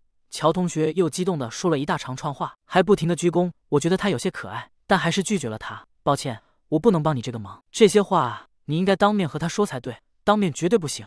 跟他对视的话，我绝对会死掉的。乔同学连连摆手拒绝。我深吸一口气，真搞不懂你们这种喜欢，明明想要接近，为什么却总是在逃跑？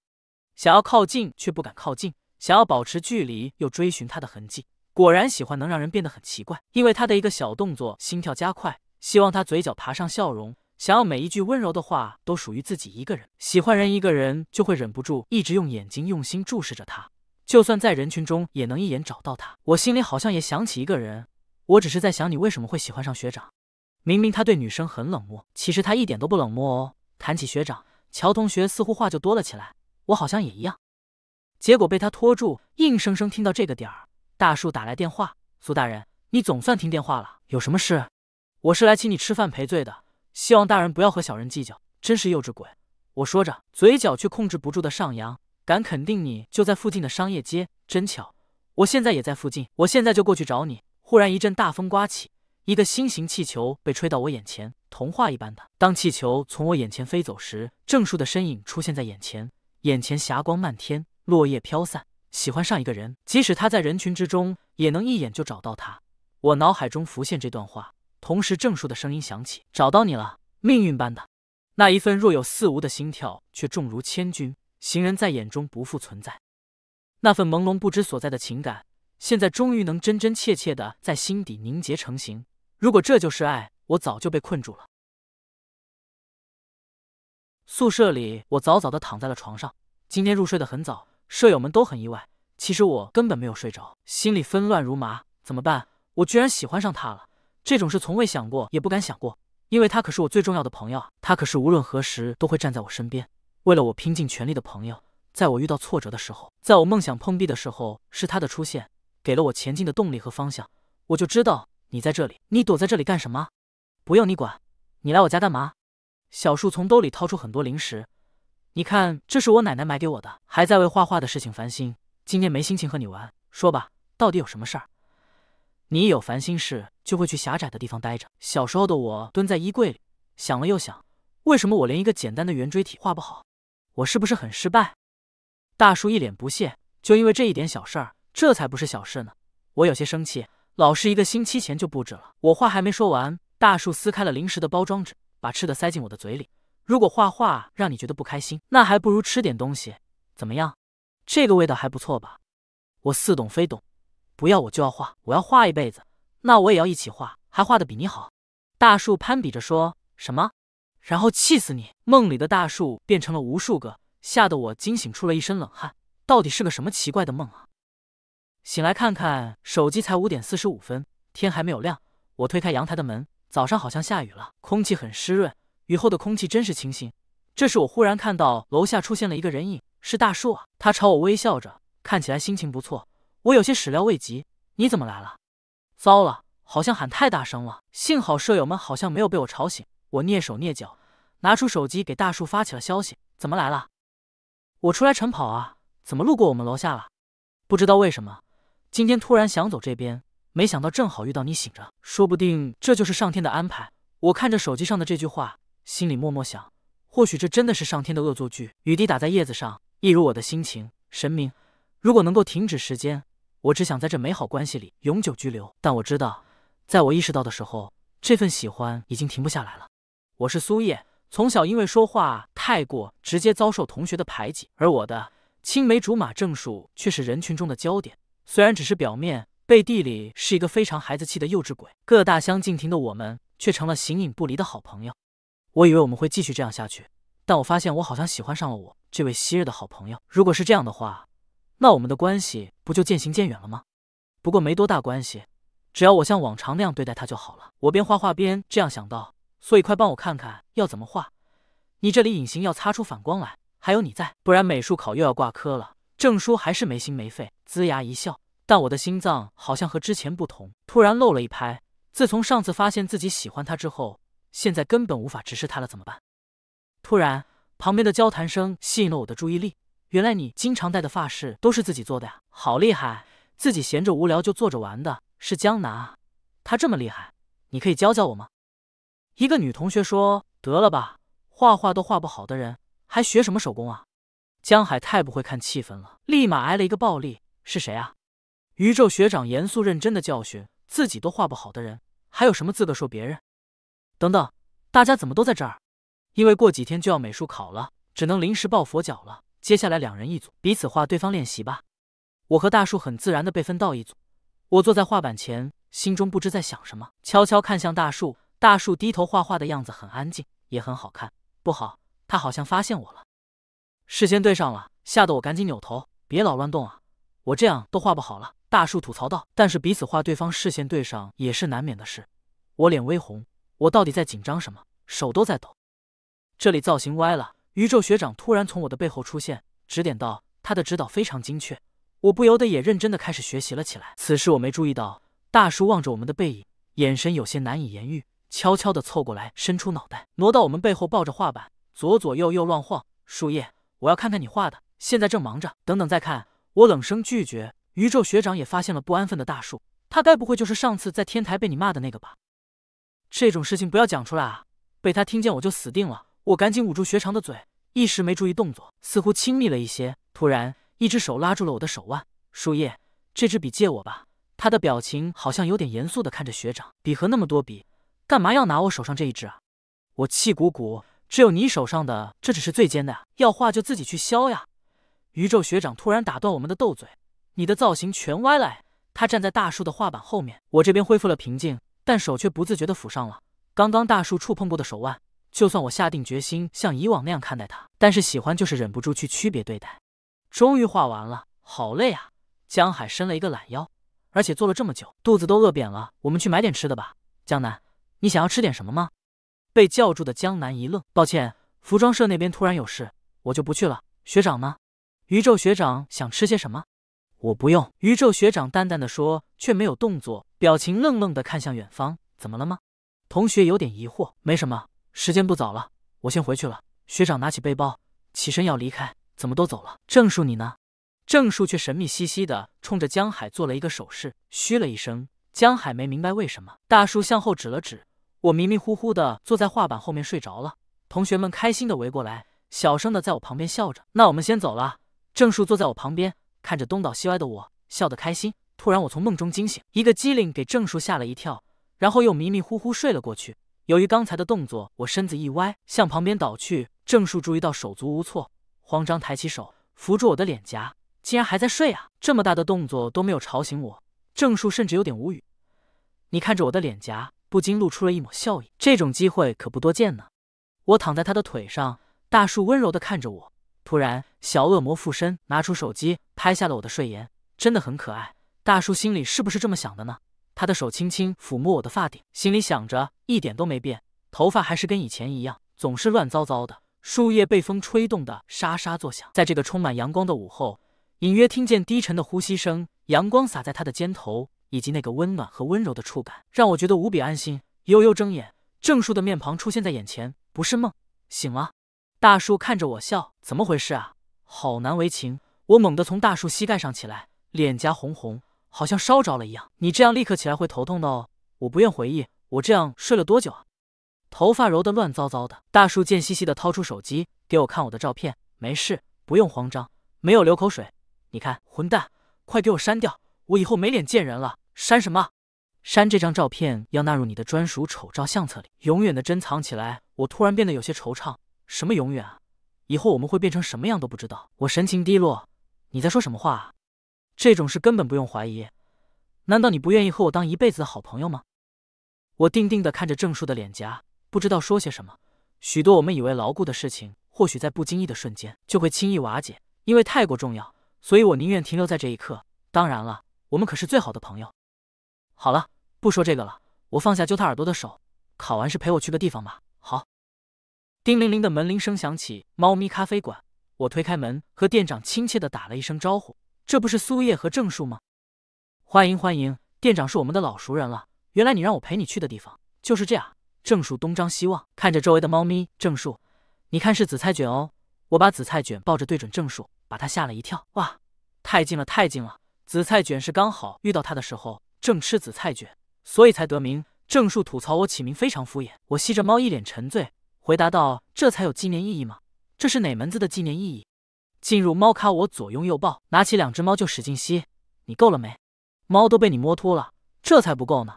我们很久才见一次面，因为木子对猫过敏，所以不能带回宿舍。幸好店长收留。郑树却觉得猫咪在这里会更好。当初跟着我时，猫咪瘦瘦的，你看现在在猫咖里，它都胖得跟球一样。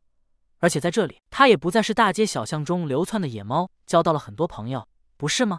就像你一样啊！郑树看着我笑道。我不禁回想起了自己的境遇，脸上不由得一愣。话虽如此，但我还是不懂如何跟朋友相处。比起紫菜卷来，我可能更输一筹呢。我低下头，看着可爱的紫菜卷。这种事情可以慢慢来吗？郑树安慰。此时，郑叔的电话震动了起来。谁这个时候打来电话？他看了一眼手机屏幕，突然脸色一变，好像有什么不开心的事情发生，猛地站起身来，把面前的饮料都碰洒了。看着郑树慌慌张张的样子。我若有所思，是发生什么了吗？看着郑树离去的背影，我不禁暗想到，他是怎么了？阳台上听着手机不住的震动声，郑树还是没有勇气接起电话。最终，他深吸了一口气，有什么事？他面色阴沉，听着电话那头说的话，他不禁捏紧了拳头，脸色也越来越差了。沉默良久，他终于说出了一句话：“你现在倒还有脸跟我说这种事？”他开口既是生气又是讥讽：“妈为什么离开你自己心里难道不清楚吗？”别再打过来了。说罢就挂断了电话。方才身体用力捶向的墙壁，手还隐隐作痛。低下头，还没等心情完全平复，手机又是一阵震动。郑树不耐烦了，接起电话，大声道：“我不是叫你别再打过来了吗？”电话那头传出江海疑惑的声音：“啥？你什么时候说过？”原来是老江啊！郑树有点尴尬的轻笑一声：“你是吃了几斤火药啊？说话这么冲！我搞到了几张动物园的优惠券。”我们一起去动物园玩吧，毕竟刚考过试，也要放松一下嘛。这件事你记得和苏叶说。郑叔好像终于想起咖啡厅中的我一样。从阳台看去，我的身周散发着光。知道了，就这样，拜拜。我挂断了电话。郑叔唤起了一副笑脸，进入咖啡厅内。怎么就你一个人？猫呢？他笑着对我说：“去和他的同伴玩了。”我还是关切的问道：“你没事吧？刚刚是谁打给你的？”你的脸色好沉重。郑叔不太愿意多聊。只是打哈哈道：“我没有脸色沉重啊，刚刚是老姜他们邀请我们去动物园玩，你想去吗？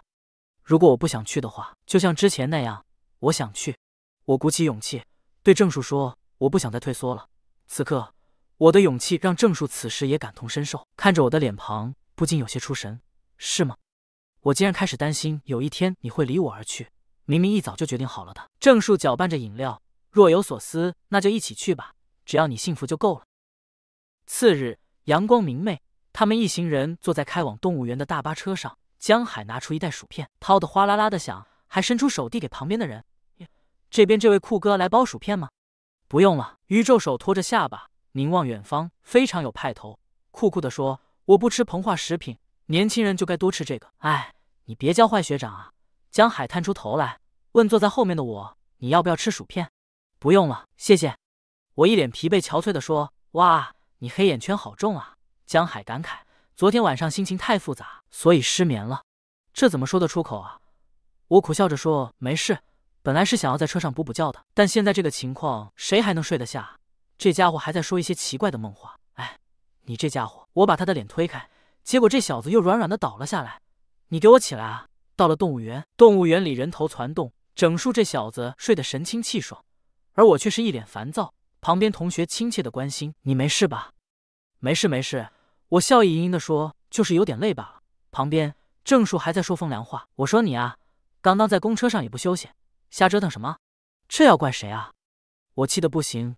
要不是现在在公共场合，我分分钟削死你。我的怨念已经结成实体了。大家先来看看地图吧。我们先去哪里比较好呢？等等，我好像看到了那一袋子，没有其他人看到吧？这是不是很尴尬？如果当面讲的话，会很尴尬。或许这是新的时尚呢？怎么办？该不该告诉他？我十分纠结。就在我愣住的时候，江南似乎注意到了，他走上前去，很自然的把一条围巾搭在他的身上。这条围巾和你今天很搭哦，完美的解决了问题。然后在无人注意时，悄悄的告诉他事情的情况。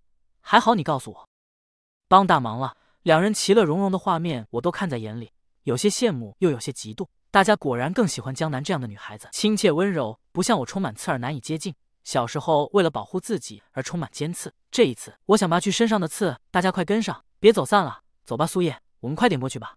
同学们友善的面庞让我有些动容了。这一次一定要努力靠近大家。话虽然这么说，但现在这个情况，我怎么靠近啊？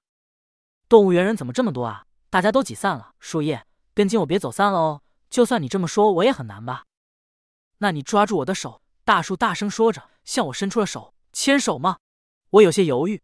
看着郑树的脸，我的心漏了一拍。还没等我犹豫中决定，后面人潮又开始涌动，把我向前推了一下。郑树抓紧了我的手，在触碰的一刹那，感觉周遭的声音都消失了，只留下我们紧握的双手。突出重围，我刚想说感谢，却看到那个人的脸，怎么是学长？我震惊了。回忆着当时的情景，郑树也突出重围，与同学们汇合了。原来你们在这儿啊！他笑着转头说：“还好我刚刚有拉着你，不然早走丢了。你的手为什么一直在抖啊？”转过头，却看着一个上了年纪的老大爷，被他牵着手，不停的抖着。臭小子，连老头子的手你也敢牵？对不起，郑树赶紧道歉。那树叶到底在哪啊？学长也不见了，快打电话问问他们。电话打通了，我的声音出现在手机里面。树叶，你现在在哪啊？不是说好跟着我的吗？刚刚人那么多，我也没有办法呀。我听着手机里郑树的抱怨，无言以对。不能让他知道刚刚错把学长当成他了。那你现在在哪啊？我其实也不知道。学长及时插话。我们在东区，我抬起头，他站在东区的指示牌旁边。这声音是学长啊，你们在一起吗？同学们都惊讶道：“让我看看东区，我们在这儿，他们在那，你们俩怎么跑得这么远啊？”看了地图才知道走的有多远，几乎穿过大半个园区了。是因为我刚刚随着人群一直走，不小心就……我尴尬的解释：“既然大家都不是独自一人，为了节约时间，那我们就分头行动吧。你觉得怎么样？”我们没意见，那就这么决定了。同学们达成了一致。郑树的表情却有些阴晴不定。此时，同学们自觉地分成了两队，郑树和江南被自动分到了一组。江南笑着问他想去什么地方呢？他好像才回过神来，说我想去水族馆，表情认真。那是一个离东区很近的地方。另一边，我也在问学长接下来有什么打算。学长理直气壮地说：“跟我说走吧，去了，到了你就知道了。”学长神秘兮兮的，不愿意透露。这家伙到现在还是这么喜欢装酷。我偷偷吐槽。到了目的地，哇，是金鱼表演哎。我看的两眼放光，真的很可爱。我被精彩的表演看得入迷，开心极了。海豚真可爱，不过为什么大家的座位都离我们那么远？总有种不好的预感。我看着水中，下一刻，海豚靠近观众席，一阵波浪扑向台上。这一刻，我好像明白了为什么大家都不坐前排。但预想中的水浪并没有打在自己身上。我睁开眼，却看到了学长的身影。你没事吧？他关心地问我，肩头已经被打湿了。纪念品商店，由于学长的衣服全被打湿了，于是我们只好先来买衣服换。没想到他竟然冲上来帮我挡了水花，不过虽然没录到全身湿透的下场，但下半身还是湿了。我无力吐槽，两个人都像落汤鸡一样，真是挺难受的。总之赶紧买件衣服换上吧。我转移了话题，不过动物园纪念品店里真的都是动物印花的衣服呢，画的很可爱啊。而且这猴子怎么有一种江海的既视感？这只小熊也像木子一样可爱呢。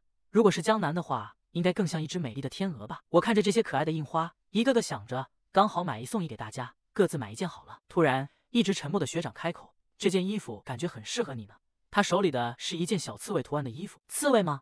我有些怔住了。他是在暗示我说话总是带刺吗？明明我最近都有在注意啊！我心中有些懊悔。你在任何人面前都像一只时刻警惕竖着刺的刺猬。学长此时开口道：“我看着他的脸，为什么不尝试脱下你的盔甲呢？”我若有所思，盔甲是因为之前发生过一些不好的事情，导致自己性格方面渐渐不懂得如何与人相处。但是现在我也想努力改变自己，逐渐亲近大家。再不换衣服就要感冒了。说完这些，我有些不好意思了，也不敢看学长，赶紧拿起一件衣服。这个图案非常适合你呢，拍在了学长的身上。学长拿起衣服愣住了。北极熊这个图案真的适合我吗？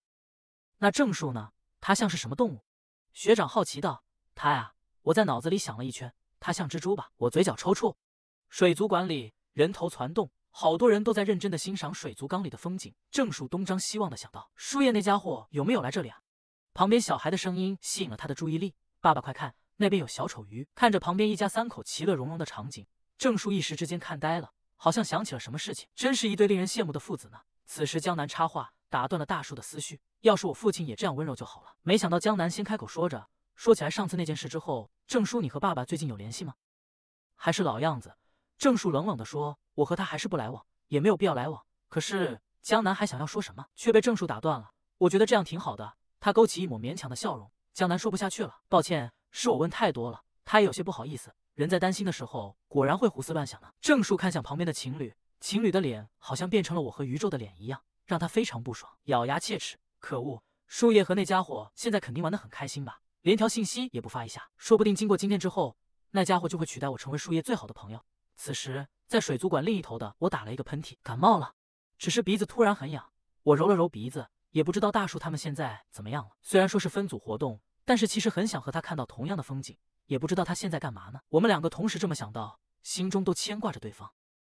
水族馆内，我和郑树两组人站在大水族箱的两端，隔空对望。某一刻，我们两个的视线似乎对了上去，但是完全认不出，因为映照在水中的脸完全变了一个模样。甚至还有点搞笑。大树捧着手机，怨念道：“这家伙居然到现在一条信息都没发过来，果然是玩的连我都忘了。我是绝对不会先打给你的。”一旁的江南看入了迷，正心情大好，真的好漂亮啊！看着水族箱中水母上上下下的游弋，感觉就看到了魔法一样。下一条裙子用水母作为元素做出来，肯定会好看的。有那个点子，他回头想和郑树分享。你看这水母的触手，看起来有点像裙摆。人呢？他向后看去，并没有看到郑树的身影，身子往后一退就撞上了。因为嫉妒而面目全非、怨念暴增的郑树，放大版，郑树，你怎么了？吓得江南赶紧问道：“我没事啊。”郑树又突然笑得春风拂面，其实只是强颜欢笑罢了。但江南看着郑树的脸庞，还有他亮着的手机，有点怔住了。那个，我们还是去找苏叶他们吧。江南笑着说，仿佛什么事情都没有的样子。她真的是一个很细腻的女孩子。要不要先给他们打个电话呢？说不定他们也到这边来了。此时，江南好像突然看到了什么，吓得脚步往后一仰，撞到了郑树的身上。而且头发竟然勾住了郑树的纽扣。另一边，我看着水族箱里咕噜噜的冒着气泡，心里想着，不知道大树在干嘛呢？他会不会和江南玩的很开心呢？我的心中，恶魔和天使不断打架。要是他有想到我们，怎么到现在连个电话都没有？我抱着手机，神情有些沮丧。果然是玩的很开心吧？这时突然来了一条微信，我迅速点开，满心期待。结果是妈妈发来的：早晨起来六件事，希望破灭。我偷偷叹了一口气，我期待些什么啊？他的朋友又不是只有我一个人，没有必要时时刻刻和我待在一起啊！果然变得贪心了呢。感觉你好像很在意正数。学长问了起来，从刚刚开始就是一边盯着手机，一边叹气，是在等他的消息。我被学长这么直白的问话吓得一愣，脸上瞬间就变红了。虽然听说你们是青梅竹马，没想到感情这么好啊！不，我只是我害羞的，不知道说什么好，慌张的很。没错，我们确实是青梅竹马。他是我从小到大唯一的朋友，而且在我遇到困难时，他都会出现。不知不觉我就有些依赖他了，真希望我能改掉依赖别人的坏习惯呢。心中却想，我要把内心刚萌发的苗子一次拔除，只有这样，我才能永远陪伴在他左右。学长看了看我强颜欢笑的脸，并没有说什么。他的声音很轻，明明你可以依赖身边的人。我没有听清，水族馆的声音太嘈杂了。学长咳嗽了几声，没有听清的话，他也没有勇气重新说一遍了。果然，除了那个猪脑子以外，其他男孩子的心思都很难懂啊。我有点气鼓鼓的。话说对面那个人影，你不觉得有些尴尬吗？我看到对面两个在一起的人影，说起来是啊，好像被塞了狗粮。要不然我们换个地方吧。我和学长达成了一致，就是有点好奇，这对情侣到底在做什么。我好奇心大爆发，我就想瞄一眼，这一眼就看到了，是江南和郑树，他们依偎在一起，不知道在做些什么。我愣在原地了，不知道该做些什么表情。而另一边。当时江南和郑树的状况。当时江南笑着对郑树说：“我们还是去找苏叶他们吧。”脸上的笑容温柔和蔼，说不定他们已经到了水族馆东区。此时，远处有人突然路过，一个脚步声，江南一惊向后撤去，不小心倒在了郑树的身上，头发非常巧合的刮在了郑树的纽扣上，头发好像被勾住了，要不要先把它放下来啊？两个人都是一样的慌张。江南将头发放了下来，郑树正在解开头发，稍等一下，我马上就好。都怪我不小心，说什么呢？如果弄疼了，就跟我说。两个人此时距离较近，看上去就像一对情侣一般。此时的江南心如肋骨，心跳声非常的大。他眼中的郑树就像王子一般，闪耀着光芒。不会的，看着郑树的脸颊，他红了脸，心中想到：这是我第一次离他这么近，真希望这一刻能够再慢一点。突然，郑树叫了出来：“你怎么在这里？”他这么远都看见了，我还有你那个表情，一看就知道。你脑子里在想什么？我可不是这种人。郑树还在幼稚的叫嚷道：“我不想理他，转身就要走。”站住，阿伟！郑树一言不合就要追上，却忘了被困住的江南。郑树，等一下！但为时已晚，他已经扯到了江南的头发。对不起，我忘记他还没有解开，实在对不起。你个蠢货！我心里想着。洗手间里，我看着江南的侧脸，若有所思。那个你没事吧？就是你的头发。江南看着我，一头发丝飘逸。抱歉啊，大树，那家伙总是少跟进。没关系了。也怪我太不小心，他还是一如既往的好说话。不过能和郑树靠得那么近，也算是很值了。他心里也暗暗有些欣喜，我心中有些酸涩。虽然刚才是一种误会，但看到大树和江南在一起的那个画面，还是让我感觉心里怪怪的。你是不是扯得有点多了呀？江南提醒我。我看了一眼手里的卷纸，我怎么拉了这么多出来？不小心出神了，我有点尴尬。我先出去外面等你吧。门外，我在窗台边上暗自想着自己的心事。我未免太小肚鸡肠了吧？因为他们又没什么。哎，我又叹了一口气。大树偷偷从后面跑过来，一把捂住我的眼睛。哎，是谁？大树吗？大树没有动作。我是审判官郑树大人，被告人苏叶。为什么你会和那个姓于的家伙穿着情侣衫？真是无语啊！我摸了摸他的手，别闹了，我现在没时间陪你玩。我捏得他手咔嗒作响。大树叫了起来，疯狂求饶。真搞不懂你。我们的衣服只是被水溅湿了，迫不得已买了一件新的而已。而且我给大家都买了一件，就放在那边。真的啊！大树一脸被哄好的表情。我骗你干嘛？就算是这样，你今天要和他在一块，没想过我，真是令人不爽啊！看着他老气横秋的语气，真想再给他一拳。我突然笑了起来，还笑得很大声。或许我现在可以这么以为，其实你已经离不开我了。我进一步，眼神犀利的看着他。大树被我的气势吓倒了，脸很红，表情是很惊讶，也未免太自以为是了吧？我看到他的反应，开心道：“是是是，反正我们以后在一起的时间要很多，所以也不急于这一时，不是吗？这次就先饶了我吧。”我笑得眉眼弯弯。此时郑树看着我。听到了自己的心跳声，扑通扑通。江南这个时候已经收拾好了，让你们久等了。他笑着过来说：“那我们接下来去找木子他们吧。”两组人再次出发，我们也跟上去。江南对郑树说：“你怎么了？脸怎么这么红？”“没什么。”郑树害羞的捂住了自己的脸。“搞什么？为什么我现在要跟这家伙坐在一起啊？”后来郑树和宇宙坐在一起，心里疯狂碎碎念。后排木子和江海不知道在吵吵着什么，原来是木子刚刚遇到了一个 crush，两个人因为一见钟情起了争执。难道你们看人不首先是看脸的吗？江南认同，虽然是这样，但内在温柔体贴，能体谅别人，笑容像春日阳光，能给人温暖，这些都很重要。你说的这种男生太稀有了吧？我吐槽，确实很少见。但幸运的是，我已经遇见了他。我疑惑道：“什么人？我怎么不知道？”那个人就是郑树啊！我看着江南认真的脸，不知道该说什么。郑树，真的吗？宿舍，郑树看着书，自己心里默默思索着。突然看见了书里的叶脉书签，心里想起了今天的画面。可恶啊！今天居然被调戏了一番，光想起来都很丢脸啊！他到底是跟谁学的？我应该反驳回去。而且那个时候，他摸了摸自己的心脏，我的心怎么跳得那么快啊？我是不是生病了？上网搜一下，大树这个傻子，难道是身体虚弱？果然不应该放纵自己。再往下搜索，由于情绪所致，难不成是一整天都在想树叶和那家伙，所以才很有可能啊。郑树燃起了斗志，以后要更好的阻止那家伙和树叶相处啊！不过原来树叶也会这样对我笑啊！他拿着书签，心里甜甜的，感觉还不错。突然的电话打断了郑树的好心情，是父亲打来的。他拿起手机，把它放在了一个无人的角落。另一边，女生宿舍，我抱着手机，心想他今天怎么连一条信息都没发来？明明每天晚上都会，难道是白天的事情？他会不会发现我喜欢他而跟我绝交？我在脑子里胡思乱想着，我这个蠢货。为什么要做这种事啊？脑子发热，一时间理解不了。而且没想到江南也喜欢大树，像她这么漂亮、性格又好的女孩子，更加适合他吧。而且大树当时也对他有不一样的想法。那这样的话，我还在想着，舍友突然冒出头：“你在桌子底下干什么？”吓了我一大跳。我在找笔，这就出来了。我只好找借口说不用帮忙了。话说大家在看什么啊？我见木子两个人都在认真的看。这是一部超好看的偶像剧，讲述的是一个关于特别的朋友的故事。剧里的女主人公说：“不要说出口，说出口我们就不能做朋友了。”我们三个一起坐在桌子前看了起来。可不可以不要让我失去最重要的朋友呢？电视里说着，我有些感同身受了，一时之间正愣住。为什么明明喜欢对方，却又不敢说出来呢？木子问着，可能是太重要了，害怕说出口就不复存在了。哪怕是一小步，在我们的感情中，也有可能摧毁一切。这样胆怯的喜欢着你的我，绝对不能被发现。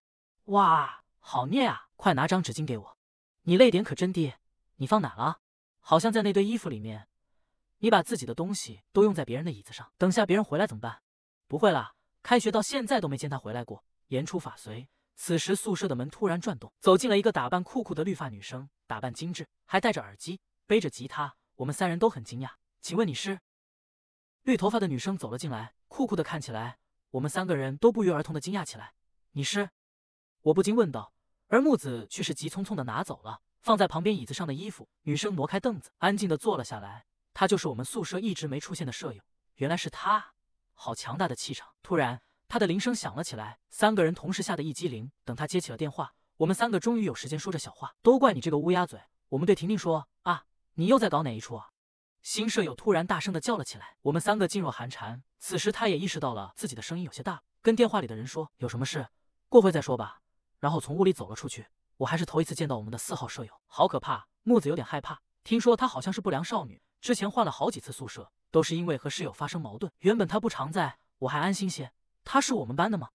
我后知后觉，她经常旷课，所以你不知道也算正常了。还有传闻说她是靠着关系进来的，所以学校也不敢拿他怎么样。就算偶尔来学校，也是在角落睡觉而已。所以我们还是远离他比较好。我听着朋友们的谈论，心里总有一股莫名焦躁。为什么呢？大家都是这么说的吗？木子也说不上来。我觉得真正认识一个人，并非是从别人口中了解的，或许是因为经历过，我更能感同身受此刻的处境。木子两人也是慌慌张张的解释，我们也没有别的意思了。说不定里面有什么误会呢，你说是吧？赶紧转移话题，明天体育老师要发飙了。婷婷再次毒奶成功，体育老师果然因为没有人报名参加运动会而生气，其他人数已经满了，我们班竟然一个人还没有。婷婷果然能坐食乌鸦嘴这个称号。同学们，这次还有丰厚的奖金呢。体育老师还在热血的动员着，但是由于运动会经常有一些奇怪的赛制，所以大家不愿意参加也是很正常的。木子给我解释道，还没有人回应吗？体育老师还在挣扎着，老师我报名吧。木子举起了自己的手，是副班长啊，好样的！体育老师是非常欣慰。你要参加这个吗？木子，我在旁边也有些疑惑，谁叫我是副班长呢？说不定得到这笔资金，我们外出写生就不用愁了。木子好有元气，简直是天使。这时，体育老师突然点名：“你必须给我参加！”都倩彤，看你每次逃课溜得挺快，可见你的短跑很好，这一次一定要参加。我才不要呢！都倩彤毫不留情的拒绝。你再说一遍，我才不要呢！体育老师和他打作一团，我在旁边都看呆了。最终还是体育老师略胜一筹，成功的赶鸭子上架。现在已经有两位同学了，还有没有一起要为班级争光的？底下同学鸦雀无声。先这样，我们只能抽签决定了。体育老师早有准备，拿出抽签筒。突然传来一阵尖叫，几位女生都面泛红光的看着那边，发生什么事了？我扭头看见大树在打网球的身影，原来他这节也上体育课啊，竟然这么受欢迎，真是令人火大。我挥挥手。扫走别人冒出的粉红泡泡。此时，大树也发现了我的方向。我侧了侧头，发了一个招呼：“笨蛋。”他用口型对我说。我又心动了一下，心里砰砰的乱跳。要冷静啊，苏叶！我猛地闭上眼睛，脑子里默念大悲咒。轮到我抽签了。我看着后面大叫的抽中的同学，深吸一口气，把手伸进了抽签箱，拿出纸条。我惊讶了：“你抽到了吗？”旁边的同学问我：“没有啊，我手里的纸条空空如也，还挺幸运的吗？”操场上，木子在努力的练习着跑步。我们在旁边给他计时，比刚才快了两秒。木子真厉害，木子气喘吁吁的，这样也太慢了吧？这样没办法取胜啊！还有一周就要比赛了，他有些泄气，就在旁边喘着气说：“参赛的人估计只有你这么拼了。”木子此刻揉了揉小腿，太久没运动了，小腿肌肉受不了。我突然灵光一闪，我来帮你按摩吧。我蹲下身子，真的可以吗？木子有些感动，还有些不好意思。你先放松吧。我大力的捏了一把，木子突然弹起，哭唧唧的看着我，抱歉，我好像用太大力了。我这次轻点，不用了，我还是去练习吧。木子有些害怕了，转身要继续跑，我心里有些失落。明明想要为他加油的，又让我搞砸了。如果是其他人的话，肯定能轻松完成这种事吧。但是我也想出一份力啊！我抬起脚步跟上了木子的步伐，虽然笨拙，我也想用自己的方式去为他加油。我也很久没运动了，我们一起跑吧。由于速度过快，裤子不小心跌倒了膝盖，在胶皮跑道上擦伤了，渗出了血迹，休息一下吧。而木子却说不可以，再休息的话，比赛一定赢不了了。我感受到木子给自己的压力非常大，又是心疼又是无措。看着努力的木子，再看着前方说说笑笑的几个男生，我心中冒起了一股无名火。你们没看见别人正在努力为比赛做准备吗？而你们呢？苏叶没事的，这不关他们的事。木子拉了拉我的手，什么叫不关他们的事？这是一个团体赛，一个人努力是做不了的。一个人确实很难赢得比赛，但是我只想尽自己最大的努力，也好过所有人都没有努力。输了我也不会后悔。我看着木子认真的脸庞，我不由得一阵心疼，说不出话。我去医务室拿消毒水，我转身离开了。我敲响医务室的门，老师。我来拿消毒水和创可贴，里面只有学长和学姐，医务室的老师不在啊，打扰了，那我自己拿就行。消毒水在这儿。宇宙学长站起来为我指示，是你受伤了吗？不是，是我朋友受伤了。我和学长交谈起来，但感觉破坏了别人的好事呢。刚刚那个学姐就一直在看我，我有点尴尬，我先走了，你们继续吧。我转身离开了医务室。医务室内更巧的是，郑树竟然也在里面，他躺在帘子里面休息，此刻看到了一切。这个臭小子，我要揭开你的真面目。郑树突然拉开了窗帘，抱歉。你们继续。对了，学长，你真的对每个人都那么温柔吗？郑树阴阳怪气的对学长说。此刻留下面面相觑的学长和学姐，在医务室中一头雾水。一路上，郑树的心情都很好。看我像树叶去揭露你的真面目，他开心的哼起了小曲儿。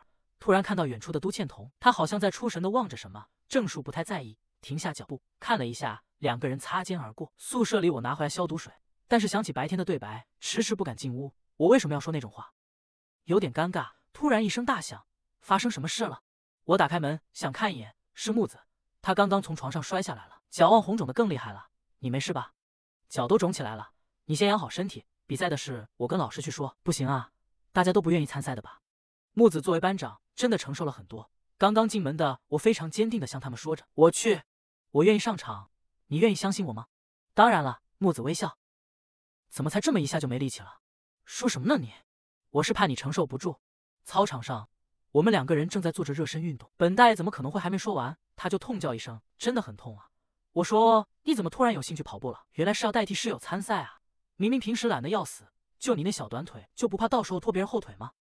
大树嘴还是这么不饶人，我也不惯着他，借着热身的势头，一拳打到他肚子上，打得大树萎靡不振。我只是想问你，干嘛不参加才艺赛？大树认怂了。虽然老师和学长都想让我参加油画项目，但是我觉得既然参加，说到底哪个都一样。这时，大树终于直起了腰，说到：“那个姓于的，我倒有一件事。”他小人得志的笑，然后左顾右看。我对他滑稽的行为表示不解。我上次在医务室看到一个女生和他单独在一起，好像很亲密的样子。大树说着悄悄话，他说的不会是上次那件事吧？我感觉毫无新意，毕竟我对学长没有什么喜欢之类的感情。大树还在喋喋不休，那种人啊，你还是少接触为好。你干嘛这样看着我？我就是在想，你干嘛处处针对他？他明明没对你做什么。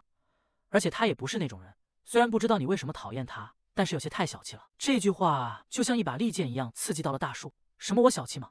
他破防了，哭唧唧的跟在我身后。这个幼稚鬼。这时突然电话铃响了，你给我等着，我先接个电话。大树叫嚣：“喂，江南，有什么事吗？”我耳朵动了一下，是江南。这样，我现在就过去。不知道他们在电话里说什么。大树满口答应，那待会儿见。挂断了电话，我迅速回身，装作毫不在意的样子，又要走了。感觉你最近很忙，到底在忙些什么？大树一顿，有点心虚，就一些文化祭前的准备。毕竟我这种大红人都很忙的了。看着大树不自然的神情，总觉得他在说谎。我开口道：“我总觉得你是不是在隐藏什么？”我倚着栏杆凑近了大树，直视着他的眼睛，两个人在对视了有一会儿。他看着我的样子，认真中带着一丝可爱。大树的脸也不禁有点红了，找不到其他的借口，呆呆的望着我，张张嘴：“你想太多了。”就这样，我先走了。飞也似的逃跑了。小路上，秋叶微黄。郑树走在人行道上，走着走着，突然把头往树上一磕，给路上的行人都吓得一个机灵。怎么了？是人不舒服吗？快速的心跳声充斥着他整个身体，明明没有跑得很快，以及残留在他身上的那一股香气，都在脑海中萦绕不去，让他的心脏扑通扑通跳个不停，耳朵也红彤彤的。他是换洗发水了吗？我进入了美术教室，趁着有空洗洗话剧吧。我想着，却突然一愣：是学长，你在这里做什么？看着学长孤身一人在画室里待着，没什么，趁着没人来打扫画室比较容易。你呢？我来整理话剧，那我也来帮忙打扫吧。我拿着扫把在门口打扫，听到楼下传来了一阵笑声。听说你参加了那个接力赛，真的假的？楼下的一群小青年笑着说。中间被簇拥的是都倩彤，脸冷冷的，不知道。喂，我可是听说那个接力赛一年比一年奇葩，戴着头套跑也太丢脸了吧！我站在阳台上，听着他们笑着说：“别板着脸了，到时候我们都会给你加油的。”这群人语气轻松，队友怎么样？说不定还能赢一把，无所谓了。都倩彤一脸淡然，好像什么都不想关心。就算输了也不会怎么样，更不会有人责怪。反正大家都一样，除了我们的副班长，就是拼过头的那个感觉。他就是那种输不起的人吧？听着他们的言语，我有些生气。不说那个了，你们瞧，我最近买了一个新的纹身贴，是不是很酷炫？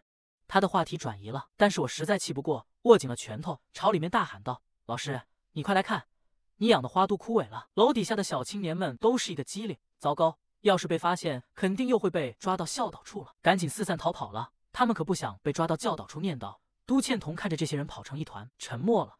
他回过身看向站在楼顶的我，我们对视了，而我的表情是那么严肃而坚决。都倩彤看着我，内心似乎有些触动，最后还是没说些什么，转过了头。学长，这时突然探出头来，你大声嚷嚷什么？我们哪来的话？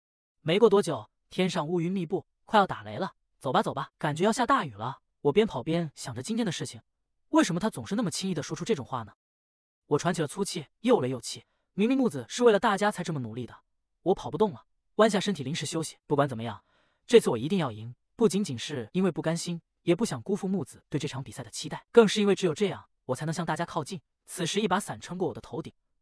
别练了，下雨了。是大树来了，他为我撑起一把伞，我们两个人一起站在伞下。不可以，我这次一定要赢。你干嘛这么拼啊？因为我答应了木子的，我一定要做到。如果我不做到的话，我就心中急切，纷乱如麻。大树伸出手指，突然弹了我一个脑瓜崩，好痛啊！我大叫一声：“你干什么？让你清醒一下！”大树严肃地说，他表情认真，看起来不容置疑。我不反对你努力，但是不要逞强过头了，至少不是现在。他一只手拉着我的手腕，走吧，另一只手给我打着伞，一会感冒了。我可不管你。我看着他的背影，心下有些触动。果然，只有在你面前，我不需要停下脚步等待，也不需要拼命去追逐。但是这个感觉会让我像步入沼泽一样，越陷越深。运动会就要开始了，放着礼花，场内的人员忙忙碌碌。苏叶，你准备好了吗？木子探出头来问我：“真的要穿成这样出去吗？”我有些不好意思。只见我已经打扮成了戴珍珠耳环的少女。没办法呀，我们班今天的方阵主题就是世界名画，大家准备好了吗？到我们上场了，这么快啊！大家都是人头攒动，熙熙攘攘。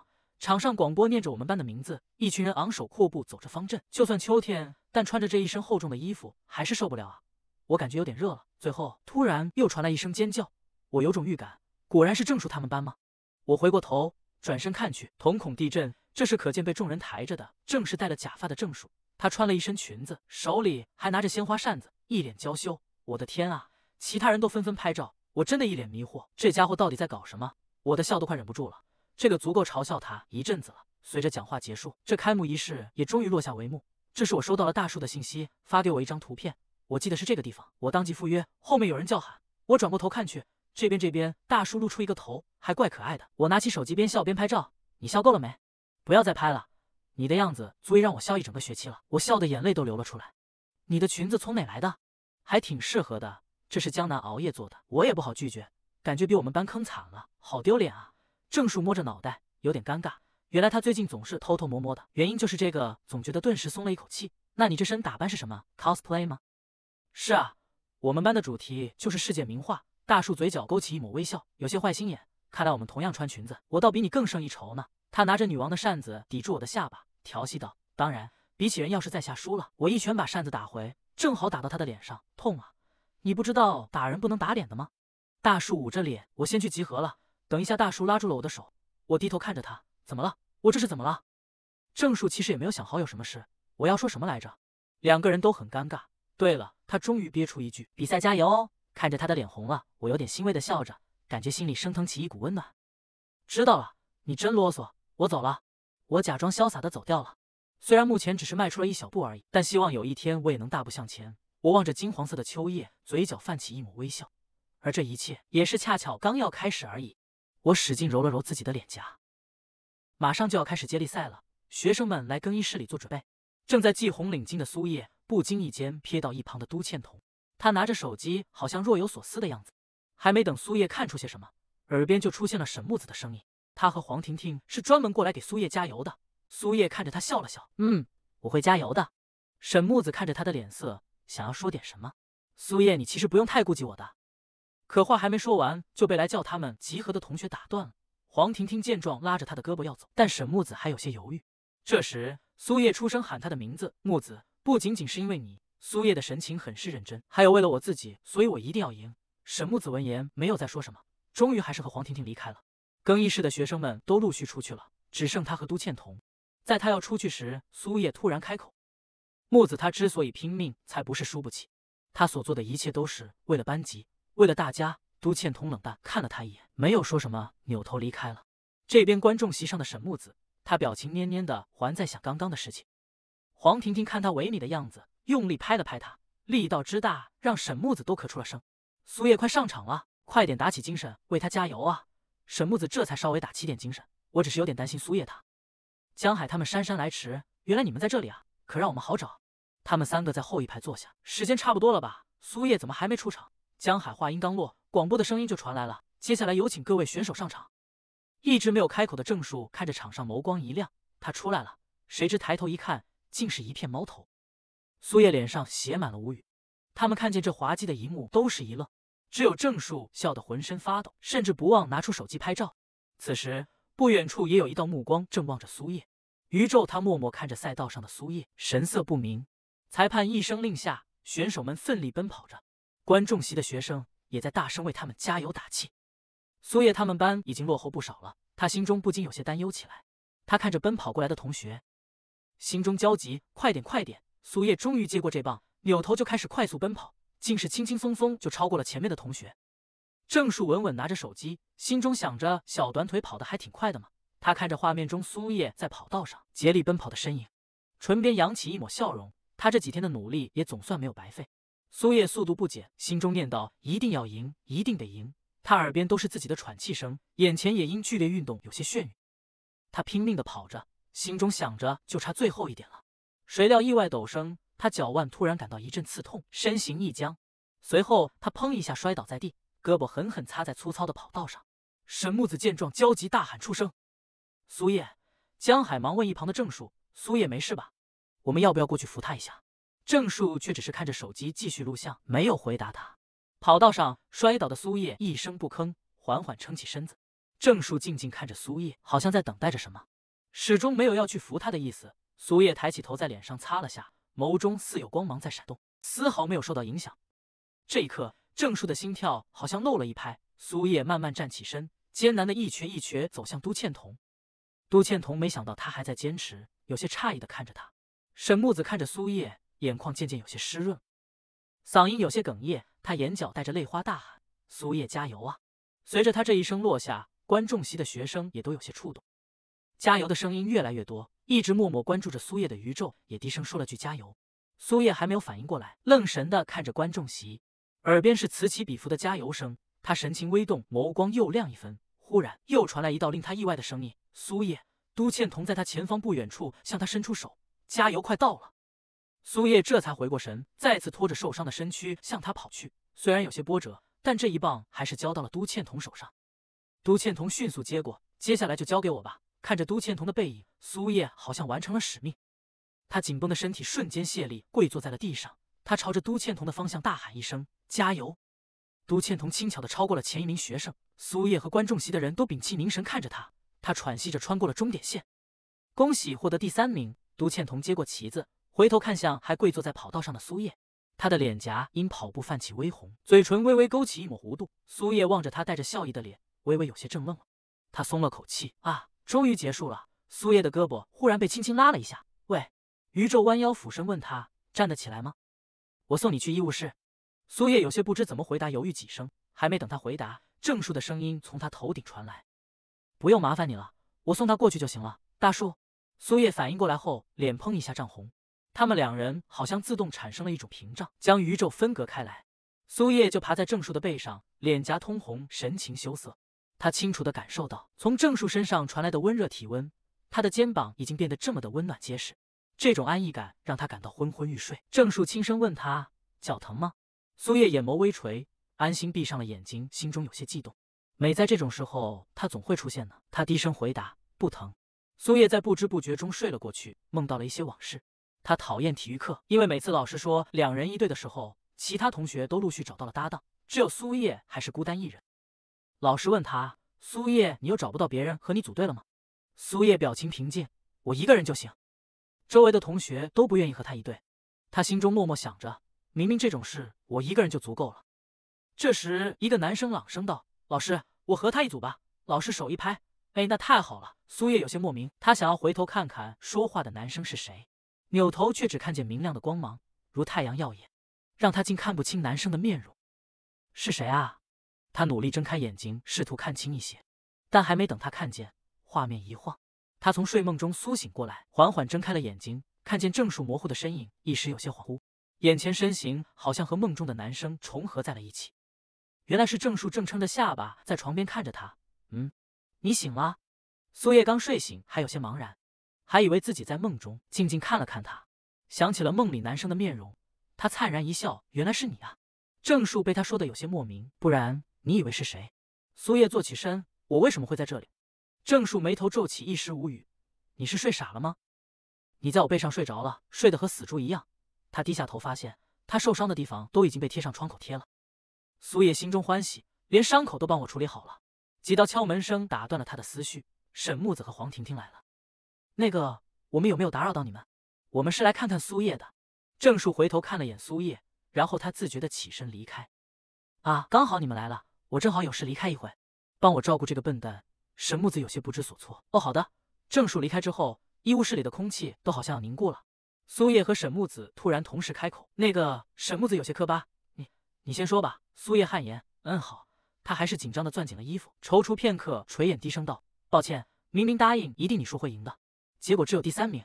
如果我没有，你才不需要道歉。沈木子提高声音打断了他的话：“苏叶，你已经很努力了。”苏叶刚有些感动，结果沈木子后面的话就扎心了：“你总是口无遮拦的，所以得罪了不少人。”沈木子话音又是一转：“但从一开始我就明白，你是个内心非常温柔的人。我们最开始想要亲近的就是这样的你啊。所以在我们面前，你可以做真正的自己哦。”苏叶眼眸微动，心中有一股暖流涌出。沈木子眼泪汪汪的看着他。能成为你的朋友真是太好了。黄婷婷带着沈木子准备离开，一旁沈木子还在哭着擤鼻子。我们先走了，有什么事记得打给我。医务室里就剩下苏叶一人，他耳边还回荡着沈木子的那些话语，脸上不觉间已流下一行泪水。他摸了摸自己湿润的脸，有些困惑。哎，我这是怎么了？想起小时候孤单的自己，那时的他明明下定决心要一人走下去，但在听到“能当你朋友真是太好了”这句话时，还是会觉得，原来听到这句话。是这么高兴的一件事。这些天他努力迎合大家，却不知道这是否就是自己想要的。到最后才发现，真正的友谊或许不需要做些什么来争取，而是沿着各自的道路奔跑，也自然会遇见。郑树不知是什么时候来的，摸了摸他的头，辛苦了。你呀，偶尔不那么坚强也没关系。苏叶闷闷的声音中带着撕哭腔：“我才没有哭。”郑树无奈叹了口气，还是这么倔。门口的江南听着屋内两人斗嘴的声音，迟迟没有进去。他心里想着，苏叶不知道有没有事，这些药说不定可以帮上什么。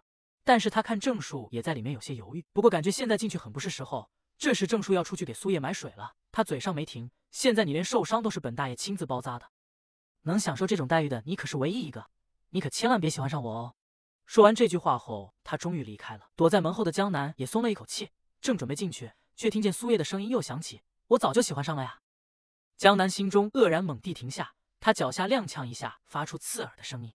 这一声引起了苏叶的注意，他疑惑问道：“谁在外面？”江南一惊，丢下药箱，慌忙离开了这里。苏叶开门后没有看见人，只有一个药箱躺在地上。他上前拿起药箱，有些疑惑：“这是谁的？”突然，楼梯后面传来窸窸窣窣的声响，什么声音？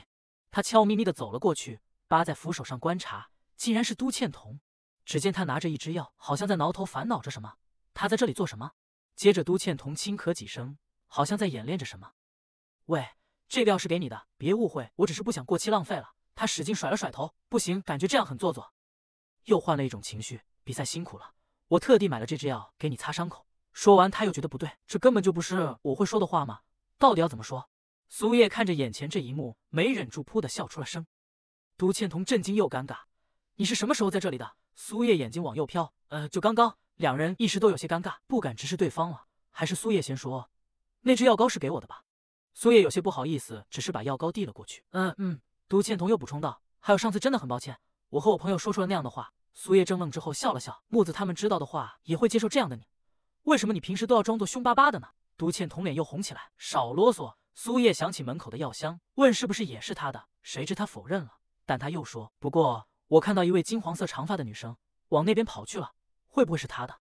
苏叶愣住了，喃喃低语：“金黄色长发。”江南跑在卫生间的隔间里坐着，想着刚才听到的事情，大家都在说谎，他还以为苏叶会和别人不一样，所以尝试交付自己的真心，到头来还不都一样。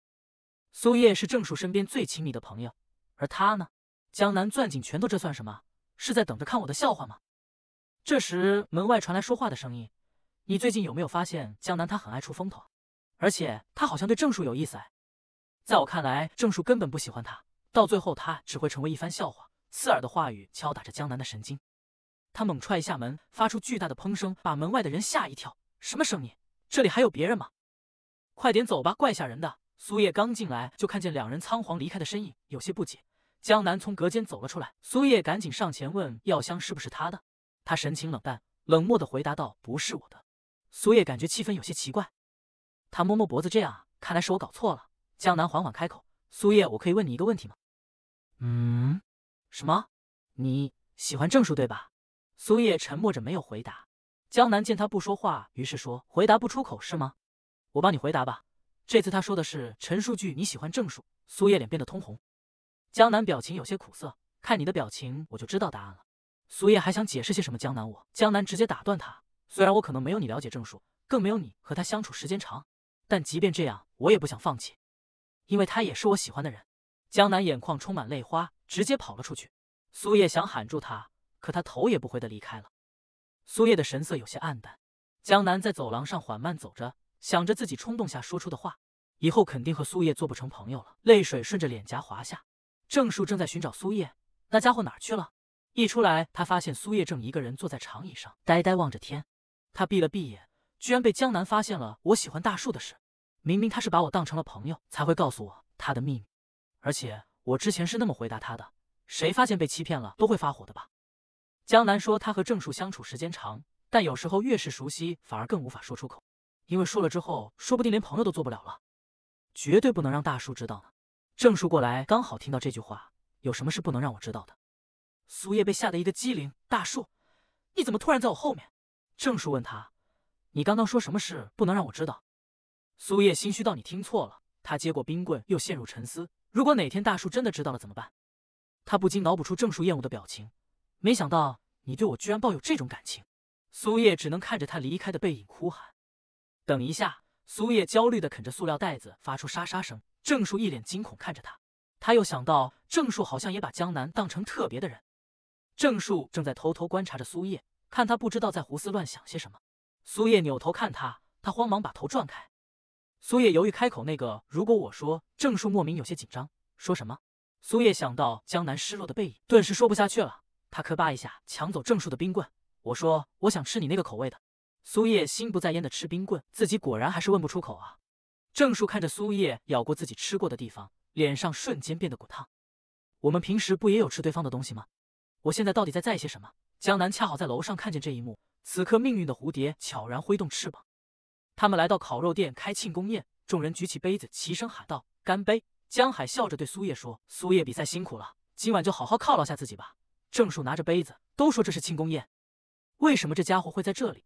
他指着苏叶左边的宇宙，悠悠的说道。江海乐呵呵的，刚好在路上碰到，况且人家上次可还帮我们联系美术考呢。这时，黄婷婷突然想起江南，最近很少看到他，他是在忙些什么啊？江海回答道：“他最近正在准备一个大型服装设计比赛。”哎，就是那个很有名的比赛吗？苏叶咬着筷子，有些沉默。很久没见到他了，想跟他解释，也不知道该怎么说明白。他表情有些忧虑。当我今晚听到他缺席的时候，我竟然松了一口气。郑树注意到苏叶唉声叹气，不知道在想些什么，有点担心。这家伙最近是怎么了？问他也不说，到底是有什么事瞒着我？他心中有些不舒服，切，明明以前有什么事都不会瞒着我的，想想又觉得算了，谁让我是最了解他的人？于是想问他怎么了，结果宇宙先他一步问出来了：“你有什么烦心事？”苏叶被问的有些诧异，尴尬笑了笑：“没事了，谢谢关心。”郑树这个角度只能看见苏叶在对宇宙笑，心中酸唧唧的。我在这边担心你，你却在和别人有说有笑的。他抢走苏叶盘子里的肉，塞进嘴里，肉都凉了，我帮你吃掉。苏叶愤怒了，揪着他骂你干嘛？那是我最后一块肉。于宙见此，主动说道：“我的给你吧。”郑树一看更生气了，又夹走了他新得来的肉。苏叶和于宙无语。沈木子看不下去了，我们再烤一些吧，反正还有嘛。郑树没有说话，只是用力吸干了饮料，发出巨大的咕噜噜声。苏叶知道他又在闹别扭了，但一靠近他就会想起江南的事。郑树见他没有反应，为了引起他的注意，又吸出巨大的声音。苏叶无奈了，给他夹了一块肉啊，给你的。还有，他的音量突然变小，凑到他耳边说：“别生气了。”郑树被他搞得满脸通红，傲娇别过脸，别以为这样就可以贿赂我。郑树转头看向宇宙，和宇宙对上了视线，他得意的冲宇宙笑着，好像在炫耀一样。郑树看着苏叶正在吃着烤肉，侧脸悄悄看下，又垂下眼，看来他还是和平常一样，稍微可以放心了。郑树的手机突然震动一下，他拿起手机一看，是江南的消息。等会有时间吗？有件事想和你说。郑树来到了和江南约定的地点，突然找我出来，到底有什么事？江南也过来了，他脸上红红的，磕磕巴巴的说：“郑树晚晚上好，晚上好，你找我来是有什么事吗？”他有些不好意思，就是那个，我最近不是在准备比赛吗？如果我赢了比赛，他停顿一下，然后下定决心说出：“可以和我一起庆祝吗？”郑树想了想，庆祝就是大家一起庆祝吧。于是他说：“可以啊。”江南眉梢间都难掩喜色，激动的说：“那我们约好喽，太好了。”他说完就准备离开了。那我先回去继续准备比赛了。郑树心想，看来他错过这次庆功宴，他还是挺遗憾的。下次就当做补偿吧。他一抬眼发现宇宙竟然也在这里，他俩四目相对。郑树叫住宇宙，语气不善：“喂，我有话想问你。”谁知宇宙直接无视了他。郑树心中恼火，走上前直接拦下了他：“学长真是了不起，居然还不理人。你最近怎么总是缠着苏叶？我可警告你，别打什么歪主意。”宇宙语气意味不明。你在怕什么？怕他终有一天会离你而去吗？郑树被说的一愣，随后他反应过来，你在胡说八道什么？我们都多少年交情了？他故作轻松，你再怎么在他面前晃悠也没用的。你记不记得学校还有一个护送徽章的活动？郑树被问的莫名其妙，那个所谓情谊证明的勋章。宇宙深深的看着他，没有说话。郑树疑惑，干嘛？你说不怕苏叶离开，不过到时候徽章落在谁的手中还不一定。他露出一抹挑衅的笑容，毕竟人心是会改变的。郑树被激的怒气值飙升，大声反驳：“他才不会！”此时苏叶正在想，刚刚大树说有事离开会，到底是去哪里呢？该不会是见江南了？不对不对，我这个脑子又在乱想什么？同学叫苏叶来睡觉，而郑树站在楼下望着他，转身回到屋里，看着房间暗了下来。他想着熄灯了，看来是睡了。想一想，他身上已经发生了许多变化，从一开始的一个人，到现在不知不觉中，身边已经多了不少伙伴。明明应该为他高兴的，但想到总有一天，他们的世界里不再只有他们两人，他的内心不禁焦躁起来。他的身影在灯光的照射下，好像有些孤独。其实真正依赖的那个是我才对吧？阅览室里，苏叶正在窗边的位置认真看书学习。苏叶，你在干嘛呢？沈木子从背后猛地扑了过来，把苏叶吓一跳。桌子晃动间，有个徽章一样的东西从苏叶笔袋里掉了出来。沈木子搂过苏叶，八卦道：“这个徽章你打算送给谁呀？”苏叶不太明白什么送给谁，沈木子没想到苏叶竟然不知道文化季重头活动情谊的证明啊！虽然表面上是评选最受欢迎的学生，但在大家眼里已经是表明心意的活动。沈木子哼哼笑着，表情暧昧，好像已经看透了苏叶。不过苏叶，你的话肯定是送给郑树的了。苏叶恼羞成怒，谁说要送给他了？黄婷婷出现在他们背后，看他们闹得开心，走过去轻轻把手搭在沈木子的肩上，悠悠开口道。不是说要来复习功课吗？我倒是看你在这骚扰别人。沈木子看了来人，嗓音颤抖：“原原来是婷婷啊！”黄婷婷一把将她带走。既然这么闲，快点和我回去处理班里的工作。苏叶拿起勋章，这个是送给喜欢的人吗？如果用朋友的身份送给他，应该不会奇怪的吧？忽的又想到，那家伙肯定会收到一大堆女生送的徽章。他嘴唇微抿，江南也一定会送吧？一阵困意涌上来，他打了个哈欠，趴在桌子上。算了，就稍稍的休息一下吧。苏叶在阳光的沐浴下睡得正香甜，忽然觉得鼻子一痒，他打了个喷嚏，迷茫的直起身。什么东西？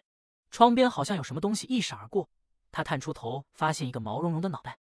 这时郑树也刚好探身过来，苏叶可以清楚感受到他温热的气息，两人鼻尖轻轻碰上，他们的双眸猛地睁大，反应过来后，两人触电般向后倒去，脸上都红彤彤的。苏叶悄悄扭头，尴尬的看看阅览室里的其他人，然后小声对窗外的郑树说：“你怎么会在这里？”郑树拍拍衣服：“我顺路来看看，没想到你居然在偷懒。”他一低头，恰好看见苏叶桌上的徽章，以为是别人送苏叶的徽章。你收到别人送的了吗？苏叶有些意外。你看什么时候也开始关注这种活动了？郑树心虚的看向别处，没有啊，因为我目前已经收到一大堆徽章了。如果你要送我的话，作为回报我的也可以。他没能说完后面的话，就被苏叶生气的打断了。那你就等着别人送的吧，我的可不一定给你。郑树急了，那你是想送给谁？苏叶拿起书包就走，我想送给谁就给谁。郑树想起宇宙说的话，心中一紧，试图叫住苏叶，赶紧追了上去。喂，等下！苏叶走在前面，心中愤愤骂道：“笨蛋，少根金花心大萝卜！我怎么会喜欢上这个笨蛋？”他的胳膊突然被人拉住，身体猛地撞进那人怀里。苏叶以为是郑树追上来了，抬头就骂：“喂，你这家伙有完没？”他看清来人的脸后，没说完的话哽住了。那边郑树准备追上去时，遇到了江南。郑树，你现在有时间吗？苏叶一看，拉住自己的人竟然是于宙。江南犹豫片刻，递给郑树一个东西：“这个勋章，请你收下。”郑树有点惊讶，江南赶紧找补道：“哎，这是友谊的象征啊！”郑树闻言松了口气：“啊，谢谢，但是抱歉，我现在可能没办法收下。”江南头微微垂下，语气失落：“勉强到这样啊？”郑树有些急：“抱歉，我还有点急事，得先走了。”他强颜欢笑道：“那你先去忙吧。”江南望着他越来越远的背影，唇角的笑容再也撑不住。从一开始我就明白，你目光所及之处一直都没有我。我到底在坚持些什么？郑树脚步一顿，突然转身对他说。江南，谢谢，你也是我的好朋友。还有，比赛加油！江南眼角带着泪花，又重新绽放了笑容。嗯，正是你如此耀眼，才会让我想坚持不懈的去追随。这边苏叶一看骂错人了，有些尴尬的撇过去，原来是你啊！于宙问他，那你以为是谁？苏叶讪讪回道没有。苏叶又看向他，抬了抬手，你找我有事吗？于宙看着自己还抓着他的手，脸上闪过羞赧，赶紧松开了。我，我就是想找你帮个忙。真搞不懂你们这些需要躲开送徽章的人，看来有魅力的人也不好当啊！于宙一听他说有魅力的人，自觉是在夸自己，他脸变得更红了。他低声道：“你也是这么认为的吗？”苏叶没有听清，有点疑惑：“你说什么？”于宙莫名来了一句：“你有什么话想对我说的吗？”苏叶静静看着他，思考了一下，警惕回答：“没有啊，我记得我速写作业交了。”于宙直接明示：“或者有什么东西想要给我看的？”苏叶努力的想着。突然想到，确实有个东西。哦，对了，这个。他掏了掏口袋，寻找着什么。谁知他从兜里摸出手机，举起来说：“这个我打了很久，终于通关了。”宇宙不知道说什么好了。攻略晚点才可以发给你，现在我必须走了。宇宙见他要走，赶紧喊住他：“等一下！”苏叶疑惑的回头看他，怎么了？宇宙拿出一个东西，直接按在了他的额头上。苏叶摸着头上的东西，很是迷茫。啊，搞什么？他拿下一看，正是传说中的友谊的证明啊！他撇撇嘴。这时，一双鞋出现在视线，郑树终于赶来了。他一来就注意到苏叶手上的徽章，苏叶还没反应过来，就被一下夺走。还没来得及做解释，他看见郑树脸色一沉：“这是他给你的吧？”苏叶一把抢回徽章，故意说：“徽章什么的，我也是有人送的。”说完，小心翼翼的偷瞄一眼郑树的反应。郑树神色更阴沉了，他抓住苏叶的胳膊：“那你的呢？也给他了吗？”苏叶强装镇定，郑树声音沉沉，又说一遍：“你的给他了吗？”苏叶被质问的有些恼火，奇怪，为什么我非得给你？他微微撅嘴：“你不是有很多人送你吗？反正也不差我这枚。”郑树看他神情不太高兴，心中懊恼：怎么我又这样了？明明想对他说的话不是这样的。他向苏叶道歉：“抱歉，我知道不该对你发火的，可我一想到你收了他的徽章，就气不过。我也不知道最近是怎么了，一见到你和其他人越来越亲近，内心就焦躁不安起来。”苏叶心道：“原来他跟我一样，也有这种感受。明明以前在你身边的只有我，不知不觉中，你的朋友越来越多了。我应该为你高兴，但是我很怕你会不再需要我了。”郑树把徽章放在苏叶手心里，对我来说，这个徽章可以证明我还在你心里重要的位置，也是证明你在我心中是特别的存在。说着，他的脸漫上红晕。所以这个徽章我只会给你一个人。郑树才发现苏叶的眼睛竟然一直盯着他，顿时更不好意思了。大手挡住了他的目光，至少你的特别之处就是能帮我买草莓牛奶。苏叶把他的手轻轻拿下，看见郑树通红的脸，郑树抬手又想挡住他，不要老盯着我看了。苏叶好像被戳中了什么萌点，笑了起来。这样子的他太可爱了吧？他拿着郑树的勋章，明媚一笑。那这个我就收下了。郑树看着他的笑容，心脏扑通扑通的跳着。虽然他不明白这是什么感觉，但他想一直和苏叶走下去。寝室里，沈木子和黄婷婷正在看鬼片，正看到吓人的地方，身后突然传来嘻嘻笑声，他们吓得大叫。苏叶有些尴尬，抱歉，我刚刚看到一个好笑的段子，我会小声点的。随后他在床上无声的翻滚着，他很兴奋，大树居然把他的徽章送给我了，难不成他也对我？但想了想，又觉得自己想太多了，要知足啊，苏。不过至少他把我当做特殊的存在，这就足够了。但最后我自己的徽章反倒因为太害羞没有送出去。第二天早上，江南一过来就听说昨晚教室起火了，里面很多衣服都被烧毁了。他匆忙赶去，只看见一地狼藉，衣服都已经被烧毁了。昨晚最后走的女生哭着道歉，昨晚忘记拔电源了，真的很抱歉。江南攥着拳，现在说对不起有什么用？为什么我要为你的粗心大意付出代价呢？另一个女生维护道：“她也不是故意的，你这么说有点过分了吧？”泪水夺眶而出，江南的嗓音哽咽：“你们一点都不了解我的感受。”篮球场上全是女生加油的声音，都是来看郑树打球的。苏叶坐在中间格外困，因为他昨晚兴奋过头，竟然没有睡着。他正想着，身后突然传来女生的尖叫声。他睁眼一看，郑树不知道什么时候坐到了他旁边。嗯，我的水呢？苏叶不明所以。什么水？旁边的女生们积极的拿来准备好的水。郑树婉拒了，谢谢你们，不过我现在想喝黑咖啡。说完，眼睛直勾勾盯着苏叶。黑咖啡，拜托了。苏叶来到自动贩卖机，心中腹诽：什么黑咖啡？明明就是草莓牛奶。他边上楼边想着，算了，这种事也只有我能帮他做。走到拐角的时候，竟然看见了许久不见的江南，两人四目相对，都愣住了，好尴尬。这难道就是情敌相见，分外眼红吗？我还是假装没看到吧。他想到江南的样子，他刚刚是在哭吗？算了算了，我还是少管闲事吧。毕竟我们两人现在的关系正处于冰点。突然，心中出现了好几个小天使。喂喂喂，你就这样坐视不管了吗？亏你之前把他当朋友，你的良心呢？最终，苏叶还是走了过去。江南看见他回来，还有些惊讶。苏叶别别扭扭的递给他一包纸，这个给你。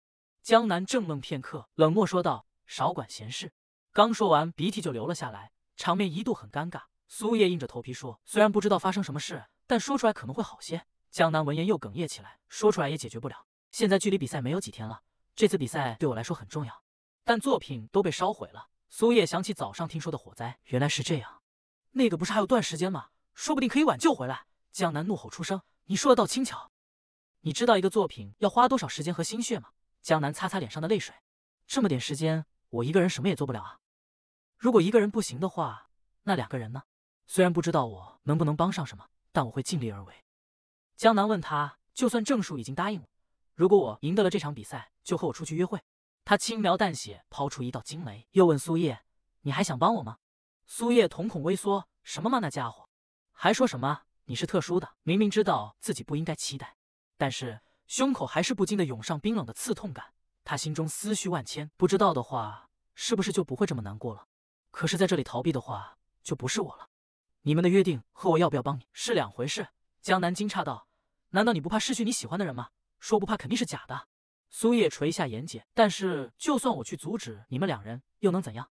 只能看他的选择吧。他语气一转，而且刚刚才说了要帮你，现在后悔也太逊了吧？再说了，也不一定会赢。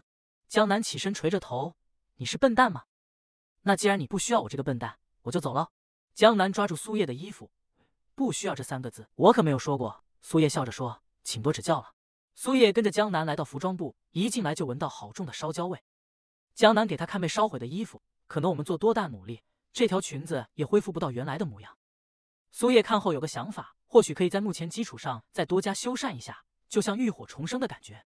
江南一听，眸光亮了，重生，他有了新的灵感，自言自语道：“没错，就是这样。”苏叶一头雾水，被江南直接拽走了。快点走吧，换另一个教室。苏叶问他去哪，江南理所当然道：“还能去哪？开工呗。对于每个人来说，时间流逝都是平等的。”就这样。他们每天都在跟时间赛跑，有时苏叶会在窗外看见郑树的身影，直至到了最后一天，他们终于完成了。江南疲惫地说：“熬了几天，今晚终于可以睡一个好觉了。”苏叶有些饿了，话说：“我们也吃点东西吧，今天一天都没吃过什么东西。”他说完话，发现没有人回答，有点疑惑。嗯，他扭头一看，才发现江南竟然已经累得睡着了，肚子甚至还在咕噜噜叫呢，看来真的是累坏了。苏叶轻轻给他盖上被子，先让他好好休息吧。他自己一个人出去觅食了，不知道小卖部这个点还有没有开。正走着，前面突然晃过一道身影，苏叶感觉有些熟悉。这个身影，他腮帮微微鼓起，用膝盖想想就知道，这么无聊的事只有大树会做。郑树还不知道自己已经被发现了，还在想等苏叶过来就出去吓他一跳，然后拍下丑照笑话他。这边的苏叶完全猜到了，正高兴呢，这家伙肯定是想吓唬我，然后把这个当做笑柄，看我怎么收拾你。突然，他笑容垮了下来。他想起江南说的话，郑树答应要和江南出去约会了。他的脚步变得沉重起来。明明在离你这么近的地方，伸手就能触碰到，甚至连呼吸声都能听见，为什么心的距离总是无法更加接近呢？郑树听见苏叶的脚步过来了，准备探头吓唬他，谁知苏叶说话了：“如果你总是想玩玩，恕我无法奉陪。”郑树从未见过这么冷漠的他，手里提着袋子，就保持那个姿势，正在原地。在苏叶走出几米远后，他才反应过来追上。喂，等等我！郑树语气讨好：“最近很忙吗？微信都没回复。”苏叶冷漠回答：“嗯，忙。”郑树又问：“你是饿了吗？现在是要去买吃的吗？”苏叶脸色难看：“那不然呢？”郑树被看得更紧张了，表情更恐怖了。郑树完全不知道发生了什么，这家伙是怎么了？前几天不是还好好的吗？难道我又做错了什么吗？他小心翼翼试探道：“刚好我买了零食给你。”苏叶不吃这套，只说要自己买。结果他刚说完，肚子就发出咕噜噜的声音。郑树马上殷勤的点牛奶，插上吸管，吸管也帮你插好了，快点喝吧。苏叶接过牛奶，心中想着：这傻瓜不知道空腹不能喝牛奶吗？郑树拿出零食，说：“这些足够你和江南一起吃了。”苏叶一听江南，本来有所缓和的表情又变得难看起来。郑树还乐呵呵的讲着零食，苏叶却快步想要离开，冷漠回答：“不需要。”郑树这下是真的不知道怎么办。你到底怎么了？要是不喜欢的话，这里还有其他的。苏叶气急转身，才不是因为这个。他一个不小心被郑树的脚绊倒了，郑树也摔倒了，两手撑在苏叶两侧。苏叶看两人的距离太近，一紧张手不自觉攥紧，把牛奶喷了郑树一脸，他的衣服和头发都湿了。郑树还以为苏叶是实在不想看见他，故意的。这袋里都是你喜欢吃的东西，既然你现在不想理我，那我就走了。郑树站起身，但是气消了的话，记得回我消息。苏叶看他走了，就把零食拿了过来，打开看见一张纸条，是郑树写的：“再忙也要记得吃饭。”苏叶看着纸条，心中想着：“你专门挑选送我的零食，我才不愿意和他人分享，包括你也是。”苏叶回来发现江南已经醒了，江南说他速度还挺快。他接过零食，打开一看，怎么都是咸味零食？我想吃甜的。苏叶准备回去休息了，江南突然叫住他，他有些困惑：“怎么了？”江南好像是要说谢谢，但又没说出口，只是把苏叶的外套递给他，让他记得明早八点来。苏叶应好，那明天见。他走后，江南一个人陷入思绪中，第一次连句简单的谢谢都说不出口。要是我们两人喜欢的不是同一人，我们会不会就此成为好朋友呢？第二天，江南换上华丽的裙子，问苏叶怎么样。苏叶疯狂点头，很好看，很合身。江南这才松了一口气，那就好。接着他又塞给苏叶一个袋子，那接下来轮到你了，把这个换上。江南表情严肃，不过在此之前要先把妆容搞定。苏叶瑟瑟发抖，等下。现在是什么情况？小时候的江南伤心的和他哥哥说：“爸爸妈妈总让我多学学你，但我根本做不到你那么好啊。”哥哥单膝跪下，递给他一本书：“你是没办法成为我的。”江南从梦中惊醒，还有点懵，抬头看下时间，原来才过了十五分钟。他朝着换衣间里的苏叶说：“苏叶，你还没换好吗？”苏叶马上回答：“哎，好了。”他拉开帘子走了出来，穿着一身板正的西装，这样穿对吗？江南帮他整理下领带，还不错嘛。虽然是我哥小学时候的，不过对你来说刚好。苏叶不明白为什么连我也要上台啊？比赛规定是两人同台，况且只有我一个人会很紧张。他有些不好意思，有你在我身边也比较安心。一直以来，江南总是让人觉得完美的无可挑剔，此时眼前的他反而让我感到更加真实。比赛当天，江海坐在郑树旁边说：“观察着我们这个位置的视野还挺好的。”郑树却是心不在焉的，左瞄右瞄。江海问他怎么了，他摸摸脖子，总感觉有个视线一直盯着我。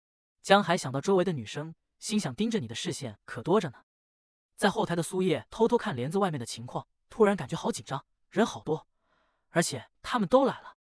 他试图从江南那寻找安慰，结果一扭头，身边哪还有江南的身影？此时的江南正躲在另一个角落里。如果这一次比赛没有赢的话，那我旁边的人正在观众里寻找亲人的身影。江南突然觉得有些孤独，果然没有来吗？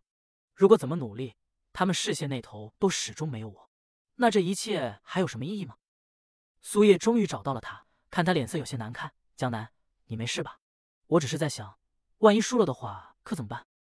苏叶不以为然，失败了，下次继续参加就行了。江南接上他的话，是啊，这种比赛反正也没有人在期待吧。苏叶以为他误会了，赶紧解释，我不是这个意思。江南有些低落，我知道，我说的是我的父母，或许一开始他们就没有对我期待过吧。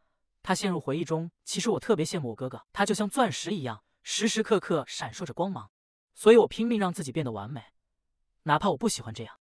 但是到头来，我也只是个复制品啊！苏叶不同意。虽然我不知道具体情况，但我特别羡慕你，总是想要坚持自己。江南不太信，别开玩笑了，我一直都在模仿我的哥哥。但是你付出的努力和汗水都是你自己的，现在要在这个舞台上赢取胜利的也是你自己。这时主持人念到他们组了。此刻江南眼里的苏叶如同王子般英俊。江南，我们走吧。小时候的江南好像正在问他：“你已经决定好了吗？”他坚定回答：“嗯，这一次我也想为了自己去赢。”苏叶出来那一瞬间，郑树眼睛直了。江海有些意外：“哎，那个是苏叶吗？怎么他也在台上？”郑树已经完全被身穿西服的苏叶迷住了眼睛，一时间连眼睛都不会眨了。江海看他的反应，露出坏笑：“瞧你那目瞪口呆的样子，该不会是心动了吧？”郑树欲盖弥彰的扭过头：“开开什么玩笑？谁会对那个家伙？”江海闻言说道：“哪个家伙？我可没说是谁啊！”郑树这才发现自己竟然被套路了。卡住他的脖子，臭小子，居然敢耍我！主持人说着，现在有请设计 A 班江南向我们展示他的作品《蜕变》。这既是衣服的蜕变，也是江南的蜕变。现在的我也能在阳光下飞翔了。最终，江南还是如愿以偿，在聚光灯下赢得了比赛。苏叶兴奋地说：“江南，你听到了吗？你得奖了！”旁边的江南已经呆住了，双眼发直了。他还有些不敢相信：“我得奖了？”苏叶给予他肯定的回答：“嗯。”江南身后突然传来一个熟悉的声音：“小南。”他回过头，哥哥，哥哥拿着一捧花，笑着说：“恭喜你，蜕变真的很美。”他看妹妹没有说话，还以为是自己带的花不好。我找了很多家，都没有你喜欢的百合，要不我回去再补偿你一份。江南眉眼弯弯，眼角含泪：“不用了，哥哥能来就是对我最好的祝贺了。”郑树因为江海的那句话，不由思考起他对苏叶的感情。我对他应该不是那种飘渺暧昧的感情，那种随时可以改变、随时可能会离开的感情。忽然，他听到了苏叶的声音：“抱歉，我现在还有事。”他被几个男生缠住了。那个男生笑眯眯说：“我只是帮我兄弟要下你的联系方式而已了。”郑树见状，快步走来，和苏叶贴得很近。啊，原来你在这里啊！可真是让我好找啊！他眼神不善地盯着那两人，请问你们找他有事吗？那两个男生被郑树瞪得脸色铁青，一个劲猛摇头。郑树牵着我离开，走吧。我疑惑道：“等等，我们现在是要去哪啊？”郑树脚步猛地一停，我没反应过来，直直撞了上去。喂，不要突然停下来了！郑树突然凑近我。指着我的脸说：“你这脸是怎么回事？很奇怪，对吧？其实我也觉得我不适合化妆。”郑树拦住我擦嘴的手：“等等，别擦啊，好浪费啊！我有点别扭，可是不是很奇怪吗？”郑树看着我精致可爱的面容，不禁有些心动。他欲盖弥彰的搓揉我的小脸，我被他揉得莫名其妙，话说不清了。你够莽啊！这样的我，郑树也是第一次见，比平时还要闪耀。他想要把我藏起来。天上绽放出绚烂的烟花。我们都不由抬头看着旁边的同学说：“快看，文化祭最后的烟花表演开始了，好漂亮！”郑树在旁边偷偷看着我的侧脸。是从什么时候开始，我在他眼中变得熠熠生辉？这时我转过头来，没想到在这里也能看到烟花。当郑树触碰到我的目光时，他的心跳声随着花火砰的炸满了整个夜空。我迫不及待跟他说：“我们走去前面点看吧。”郑树又想起江海说的：“你该不会是心动了吧？”他看着我的背影，心动吗？他伸手想要触碰我，或许他真的。一个男生撞到了他，他思绪忽然被打断。男生手中的玻璃杯脱手而出，在地上摔碎了。破碎的杯子把他拽回了童年的记忆。母亲和父亲的争吵从没停过。你能不能别总是无理取闹？我无理取闹，反正我们对你来说可有可无。母亲悲伤的脸庞出现在他眼前。你绝对绝对不能变成那个样子。我的声音把他从梦魇中拽了出来。大叔，你没事吧？怎么愣在这里？郑树还有些恍神。嗯，没事。我隐隐觉得他不太对劲，故意调侃道：“你该不会是被撞傻了吧？”他反驳我：“你会不会说人话？”我说他还会对人，看来没什么事。郑树看出我是想让他开心点，神色恢复了正常。他揉揉我的头：“放心吧，我没事。”他心中暗自想着，他一定不会把我们的关系变成如同玻璃一样的易碎品。余昼晚上回到家，李嫂端来一碗莲子汤，少爷趁热把汤喝了吧。他随口回答：“嗯，等会儿喝。”他随意刷着朋友圈，突然他猛地坐起身。李嫂都被他吓一跳，原来是看到了江和我一起拍的合照。他看着照片里的我，觉得有点可爱，快速保存了下来。他点开和我的聊天界面，输入又删除，这么重复了好几次。对了，他记得经常去的话，才店在打折，说不定我会感兴趣。但是他又担心，如果我拒绝了怎么办？他把手垂下，不小心碰到了发送键，他心道不好，想要赶紧撤回。但这时候我已经回消息了。好啊，那明天下午一点。他扭头对李嫂说：“李嫂，明晚晚饭不用帮我做了。”那是文化祭结束后的夜晚，风高夜黑，在废墟中不断传来了诡异的声响。郑树嘴角一抽，这是怎么回事？一只青白的手爬了上来，丧尸腐烂的身躯朝郑树扑过来，发出恐怖的嘶吼。我抓住想要逃跑的郑树，别跑，给我瞄准打！郑树握着枪的手都在颤抖。为什么好好的晚上不去撸串，偏偏来玩这种恶心的游戏？我理所当然道：“就是得在晚上玩才有趣啊！”瞄准点打了。郑树看着眼前恐怖的丧尸，突然紧紧抱住了我。直呼好恶心！这么亲密的动作让我们一愣，我们迅速分开，离我远点，妨碍到我打游戏了。郑树故作镇定，这游戏总爱吓唬人。其实吧，知道习惯他的套路。话说半截，一个丧尸直接给他贴面纱，他大喊一句：“怎么可能习惯？”说着又扑了过来，抱住后突然觉得不太对劲，手感怎么软乎乎的？他又捏了捏，心中有了猜测，难不成是……他鼻血流了出来，摘下眼罩：“对不起，我不是故意的。”结果一睁眼，根本不是我。郑树呆住了，我趁机拍下他这傻样。我戏谑道：“这是拍到什么好东西了？”他追着我喊道：“给我杀了！”到了我家楼下时，他都还没缓过来。哦，丧尸好恶心！我看看他。我到了，我先上去了，你振作点。他却突然拽着我的我帽子，不让我走。干嘛？认真问我是不是忘记说什么了？我没明白，但莫名有些紧张。他离我好近，我问说什么，他眼睛又移，竟然还脸红起来了。晚安什么的，你还没说。我感觉心脏好像被射了一箭。啊！我死了，脸红真是犯规。我迅速逃离现场，说什么晚安啊？你什么时候变得这么肉麻了？说是这么说，我还是溜了回来，探头羞涩的说晚安。就这样，郑树在我走后捂着脸，心想还挺可爱的嘛。他看着夜色，突然觉得要是时间再慢点就好了。我正在睡前洗漱，突然手机叮噔一声，收到一个消息，点开一看，是宇宙问我要不要一起去话剧店做活动。那我必须去，刚好最近笔和颜料都用完了。但我突然想起了那个徽章，难不成他对我？啊，我又来了，搞得好像全世界的男生都喜欢我一样。只是朋友而已，又不是约会。说起约会，关于上次江南说和大树的约会，他真的会去吗？与此同时，郑树刚洗完澡出来，看到江南给自己发的消息，那个关于上次说好的约定，明天下午有空吗？郑树压根忘记这事了。他跟江海说：“老江，明天下午一点别忘了。”江海满头雾水：“什么明天下午一点？”郑树说：“就是江南说的，比赛后给他庆功啊。”江海奇怪：“我可不记得他有跟我说过这个。”他仿佛嗅到瓜的味道了，什么情况？江南单独约你出去？郑树擦了擦脸上的水：“不，没什么，是我记错了。”郑树第二天还是到了约定的地方，想等江南来了再问清楚。江南笑着走来：“抱歉，你一定等很久了吧？”“没事，我也是刚到。”江南不好意思地说：“那我们走吧。”郑树随口答好。郑树和他并肩走着，心里想着：虽然说是这么说，但目前这种情况要怎么问起？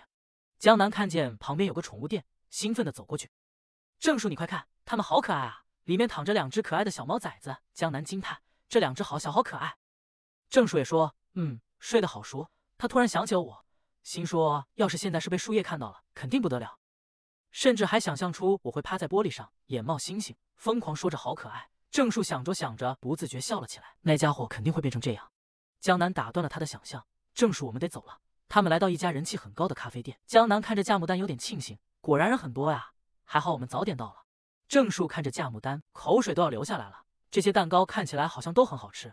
江南点好自己想吃的后问：“郑树，你呢？”郑树有点犹豫：“呃，我要一份。”江南先他一步说：“郑树，你应该要黑咖啡吧？因为经常看你点这个呢。”郑树说：“嗯，谢谢。”郑树此刻的笑容好像戴上了面具啊！差点忘了，这才是他们眼中的我呀。他又想起了我，如果这时候是我的话，就不用顾忌这么多了。我会说这款新品蛋糕要一份，还有草莓蛋糕也要一份。我悄悄看他，还有这份慕斯和一杯拿铁，谢谢。等服务员走后，我说每一次和你出来都要做这一出戏。我拖着下巴，谢谢的话就不必说了，这单你请。郑树想着想着，竟然直接说出了口，他肯定会这么说的。江南听见了，有点疑惑。嗯，说什么？郑树才反应过来，对面还有个人，一个机灵。没什么，他也不知道为什么，今天的他总是会想起我。江南犹豫开口：“其实我今天约你出来，是有话想对你说。”他紧张的抓着衣服。那个我，这是咖啡店的人来了，两位客人你们好，十分抱歉打扰到你们，请问你们介意和其他两位客人拼下桌吗？郑树连忙说：“我不介意，你呢？”江南只好勉强道：“呃，嗯。”服务生叫那两位客人过来，郑树只觉得松了一口气，真是来的太及时了。我歉意道：“不好意思，打扰到你们了。”他笑容温和：“不，哪里会。”说完，我们两人笑容都凝固了。我们两个同时开口：“怎么是你？”坐下后，我们都扭过头怄气。对面的江南和余昼都有点尴尬。郑书生闷气：“这家伙居然瞒着我，和这个姓余的一块出来，还换了个衣服风格。”我也生气，嘟着嘴心想：“什么嘛，他还是跟江南一起出来了。”我们同时看了对方一眼，眼神一触即分，更生气了。咖啡店店长一看他们竟然认识，没想到你们居然都是于宙的学弟学妹，这也太巧了吧！说完才想起来啊，忘记自我介绍了，我是于宙的表哥，也是这家店的店长。大家可以叫我阿班或者班班。三人看着格外阳光开朗的班班，都不由自主想到两人的性格一点都不像。店长把一杯奶茶放在我面前，谢谢你能够和我们宇宙成为好朋友。接着他又说，没想到你居然还是当时海滩上那个。宇宙赶紧用小蛋糕堵住他的嘴，快去工作。店长微妙的说，你干嘛一直赶我走？宇宙冷眼看他，闭嘴。我尝了一口奶茶，结果噗的一下喷了出来。郑树吓一跳，刚要问我怎么了。宇宙就抢先一步关心道：“你没事吧？”我呛咳几声，这杯奶茶怎么那么甜？郑树看着我和他的对话，心中有些不是滋味，沉默半晌后说：“他不喜欢吃甜食。”我嘴唇微微紧绷，下意识看了眼江南的表情，想了想，我开口道：“其实这甜度我能接受。”店长感觉气氛有些尴尬，主动开口：“我帮你重新换一杯吧。”台上的歌手唱起了歌，这个歌声好清澈，浮躁的心情瞬间被安抚了下来。我远远看去，这人有点熟悉啊。那不是都倩彤吗？店长也有些惊讶。你们认识？我说他是我舍友之一。店长激动的凑过来，原来你就是他说过的那个舍友。他和我的距离稍微有些近。郑树和于宙同时咳了两声。店长看着他们两人充满敌意的眼神，有点尴尬。抱歉，抱歉，我只是有点惊讶，因为那家伙竟然毒来毒我，我还担心他这辈子都这样了呢。看来这下子没问题了。他甚至掏出一个手帕擦眼泪。爸爸放心了。都倩彤突然出现，嫌弃的看着他。都倩彤问我。为什么会在这里？我说这个说来话长，我有些欣喜，不过没想到还能在这里遇上你，好久不见。店长又过来了，你别看这家伙总是一副酷酷的样子，其实他现在内心可乐开了花了。我看着他们两个斗嘴，不由开怀大笑。郑树在旁边看着我们，他心中失落。明明此时两人离得这么近，但我却无法踏入你的世界中。他甚至想，要是有一天除他以外的人都离我而去，是不是我就再也离不开他了？江南出声叫他。郑树，你怎么了？郑树有点僵硬，没什么。他感觉有这种想法的自己是多么的卑鄙啊！我去了下洗手间，出来的时候看见了郑树，他一直看着这边。我和他擦肩而过，你走错了，这边是女厕。他突然伸手拦住我，他俯下身说：“站住，我有事问你。洗手间门口还有其他人呢。”我说：“你确定要在这里说吗？”郑树这才意识到太尴尬了。我，我们换个地方说话。我们来到门口对招，他先出击。为什么你会和那个家伙单独出来？我有些不满，你不也是和江南单独出来吗？而且还换了一个新发型。郑树没有回答上来，小人血量减一百，因为睡姿不当导致发型乱翘，所以才换了发型。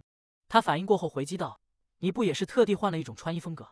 我这是早上出门被木子逮住，强行换了衣服。他非说出去约会一定要穿可爱，可我不是约会啊！”郑树不相信，他酸溜溜的，和我一起出去的时候都没穿这么可爱。可爱两字一出，我和他都吵不下去了，脸都涨得通红。我不好意思的说，这套衣服是木子的，而且我们只是出来买画材，顺道来这儿而已。郑树不敢看过来，明明以前你什么事都会找我商量的。我心思飘远，以前怎么可能会和以前一样？虽然很想一直待在只有我们两人的小星球上，但这样我只会更加的贪心。我下定决心跨出这一步。正树，我已经不是小孩子了。他静静听着，我继续道：“你看我现在已经有所成长了，所以我们不用再时时刻刻守护对方了。”你也有其他想要关心的人吧？我不敢看他是什么反应。他小声开口：“就是不成长也没关系啊。”他突然捧住我的脸，认真的说：“一直看着我不行吗？”我嘴唇有些颤抖，缓缓闭上了眼睛。我一直都在看着你啊，但是看着你的不是还有其他人吗？你看，江南现在不也在看着你吗？他好像根本不知道我在说什么，满脸的茫然。我轻轻捶了下他的胸口：“你这个笨蛋！”我毫不留恋的走了。他摸着自己的胸口，明明只是轻轻的一下，但是为什么感觉胸口这么痛？郑树魂不守舍的回到咖啡店，江南告诉他：“我和宇宙还有事，先走了。”他见郑树不说话，又准备说自己没有说完的话。郑树，今天约你出来是有很重要的事要对你说。其实我一直对你，谁知郑树打断了他：“江南，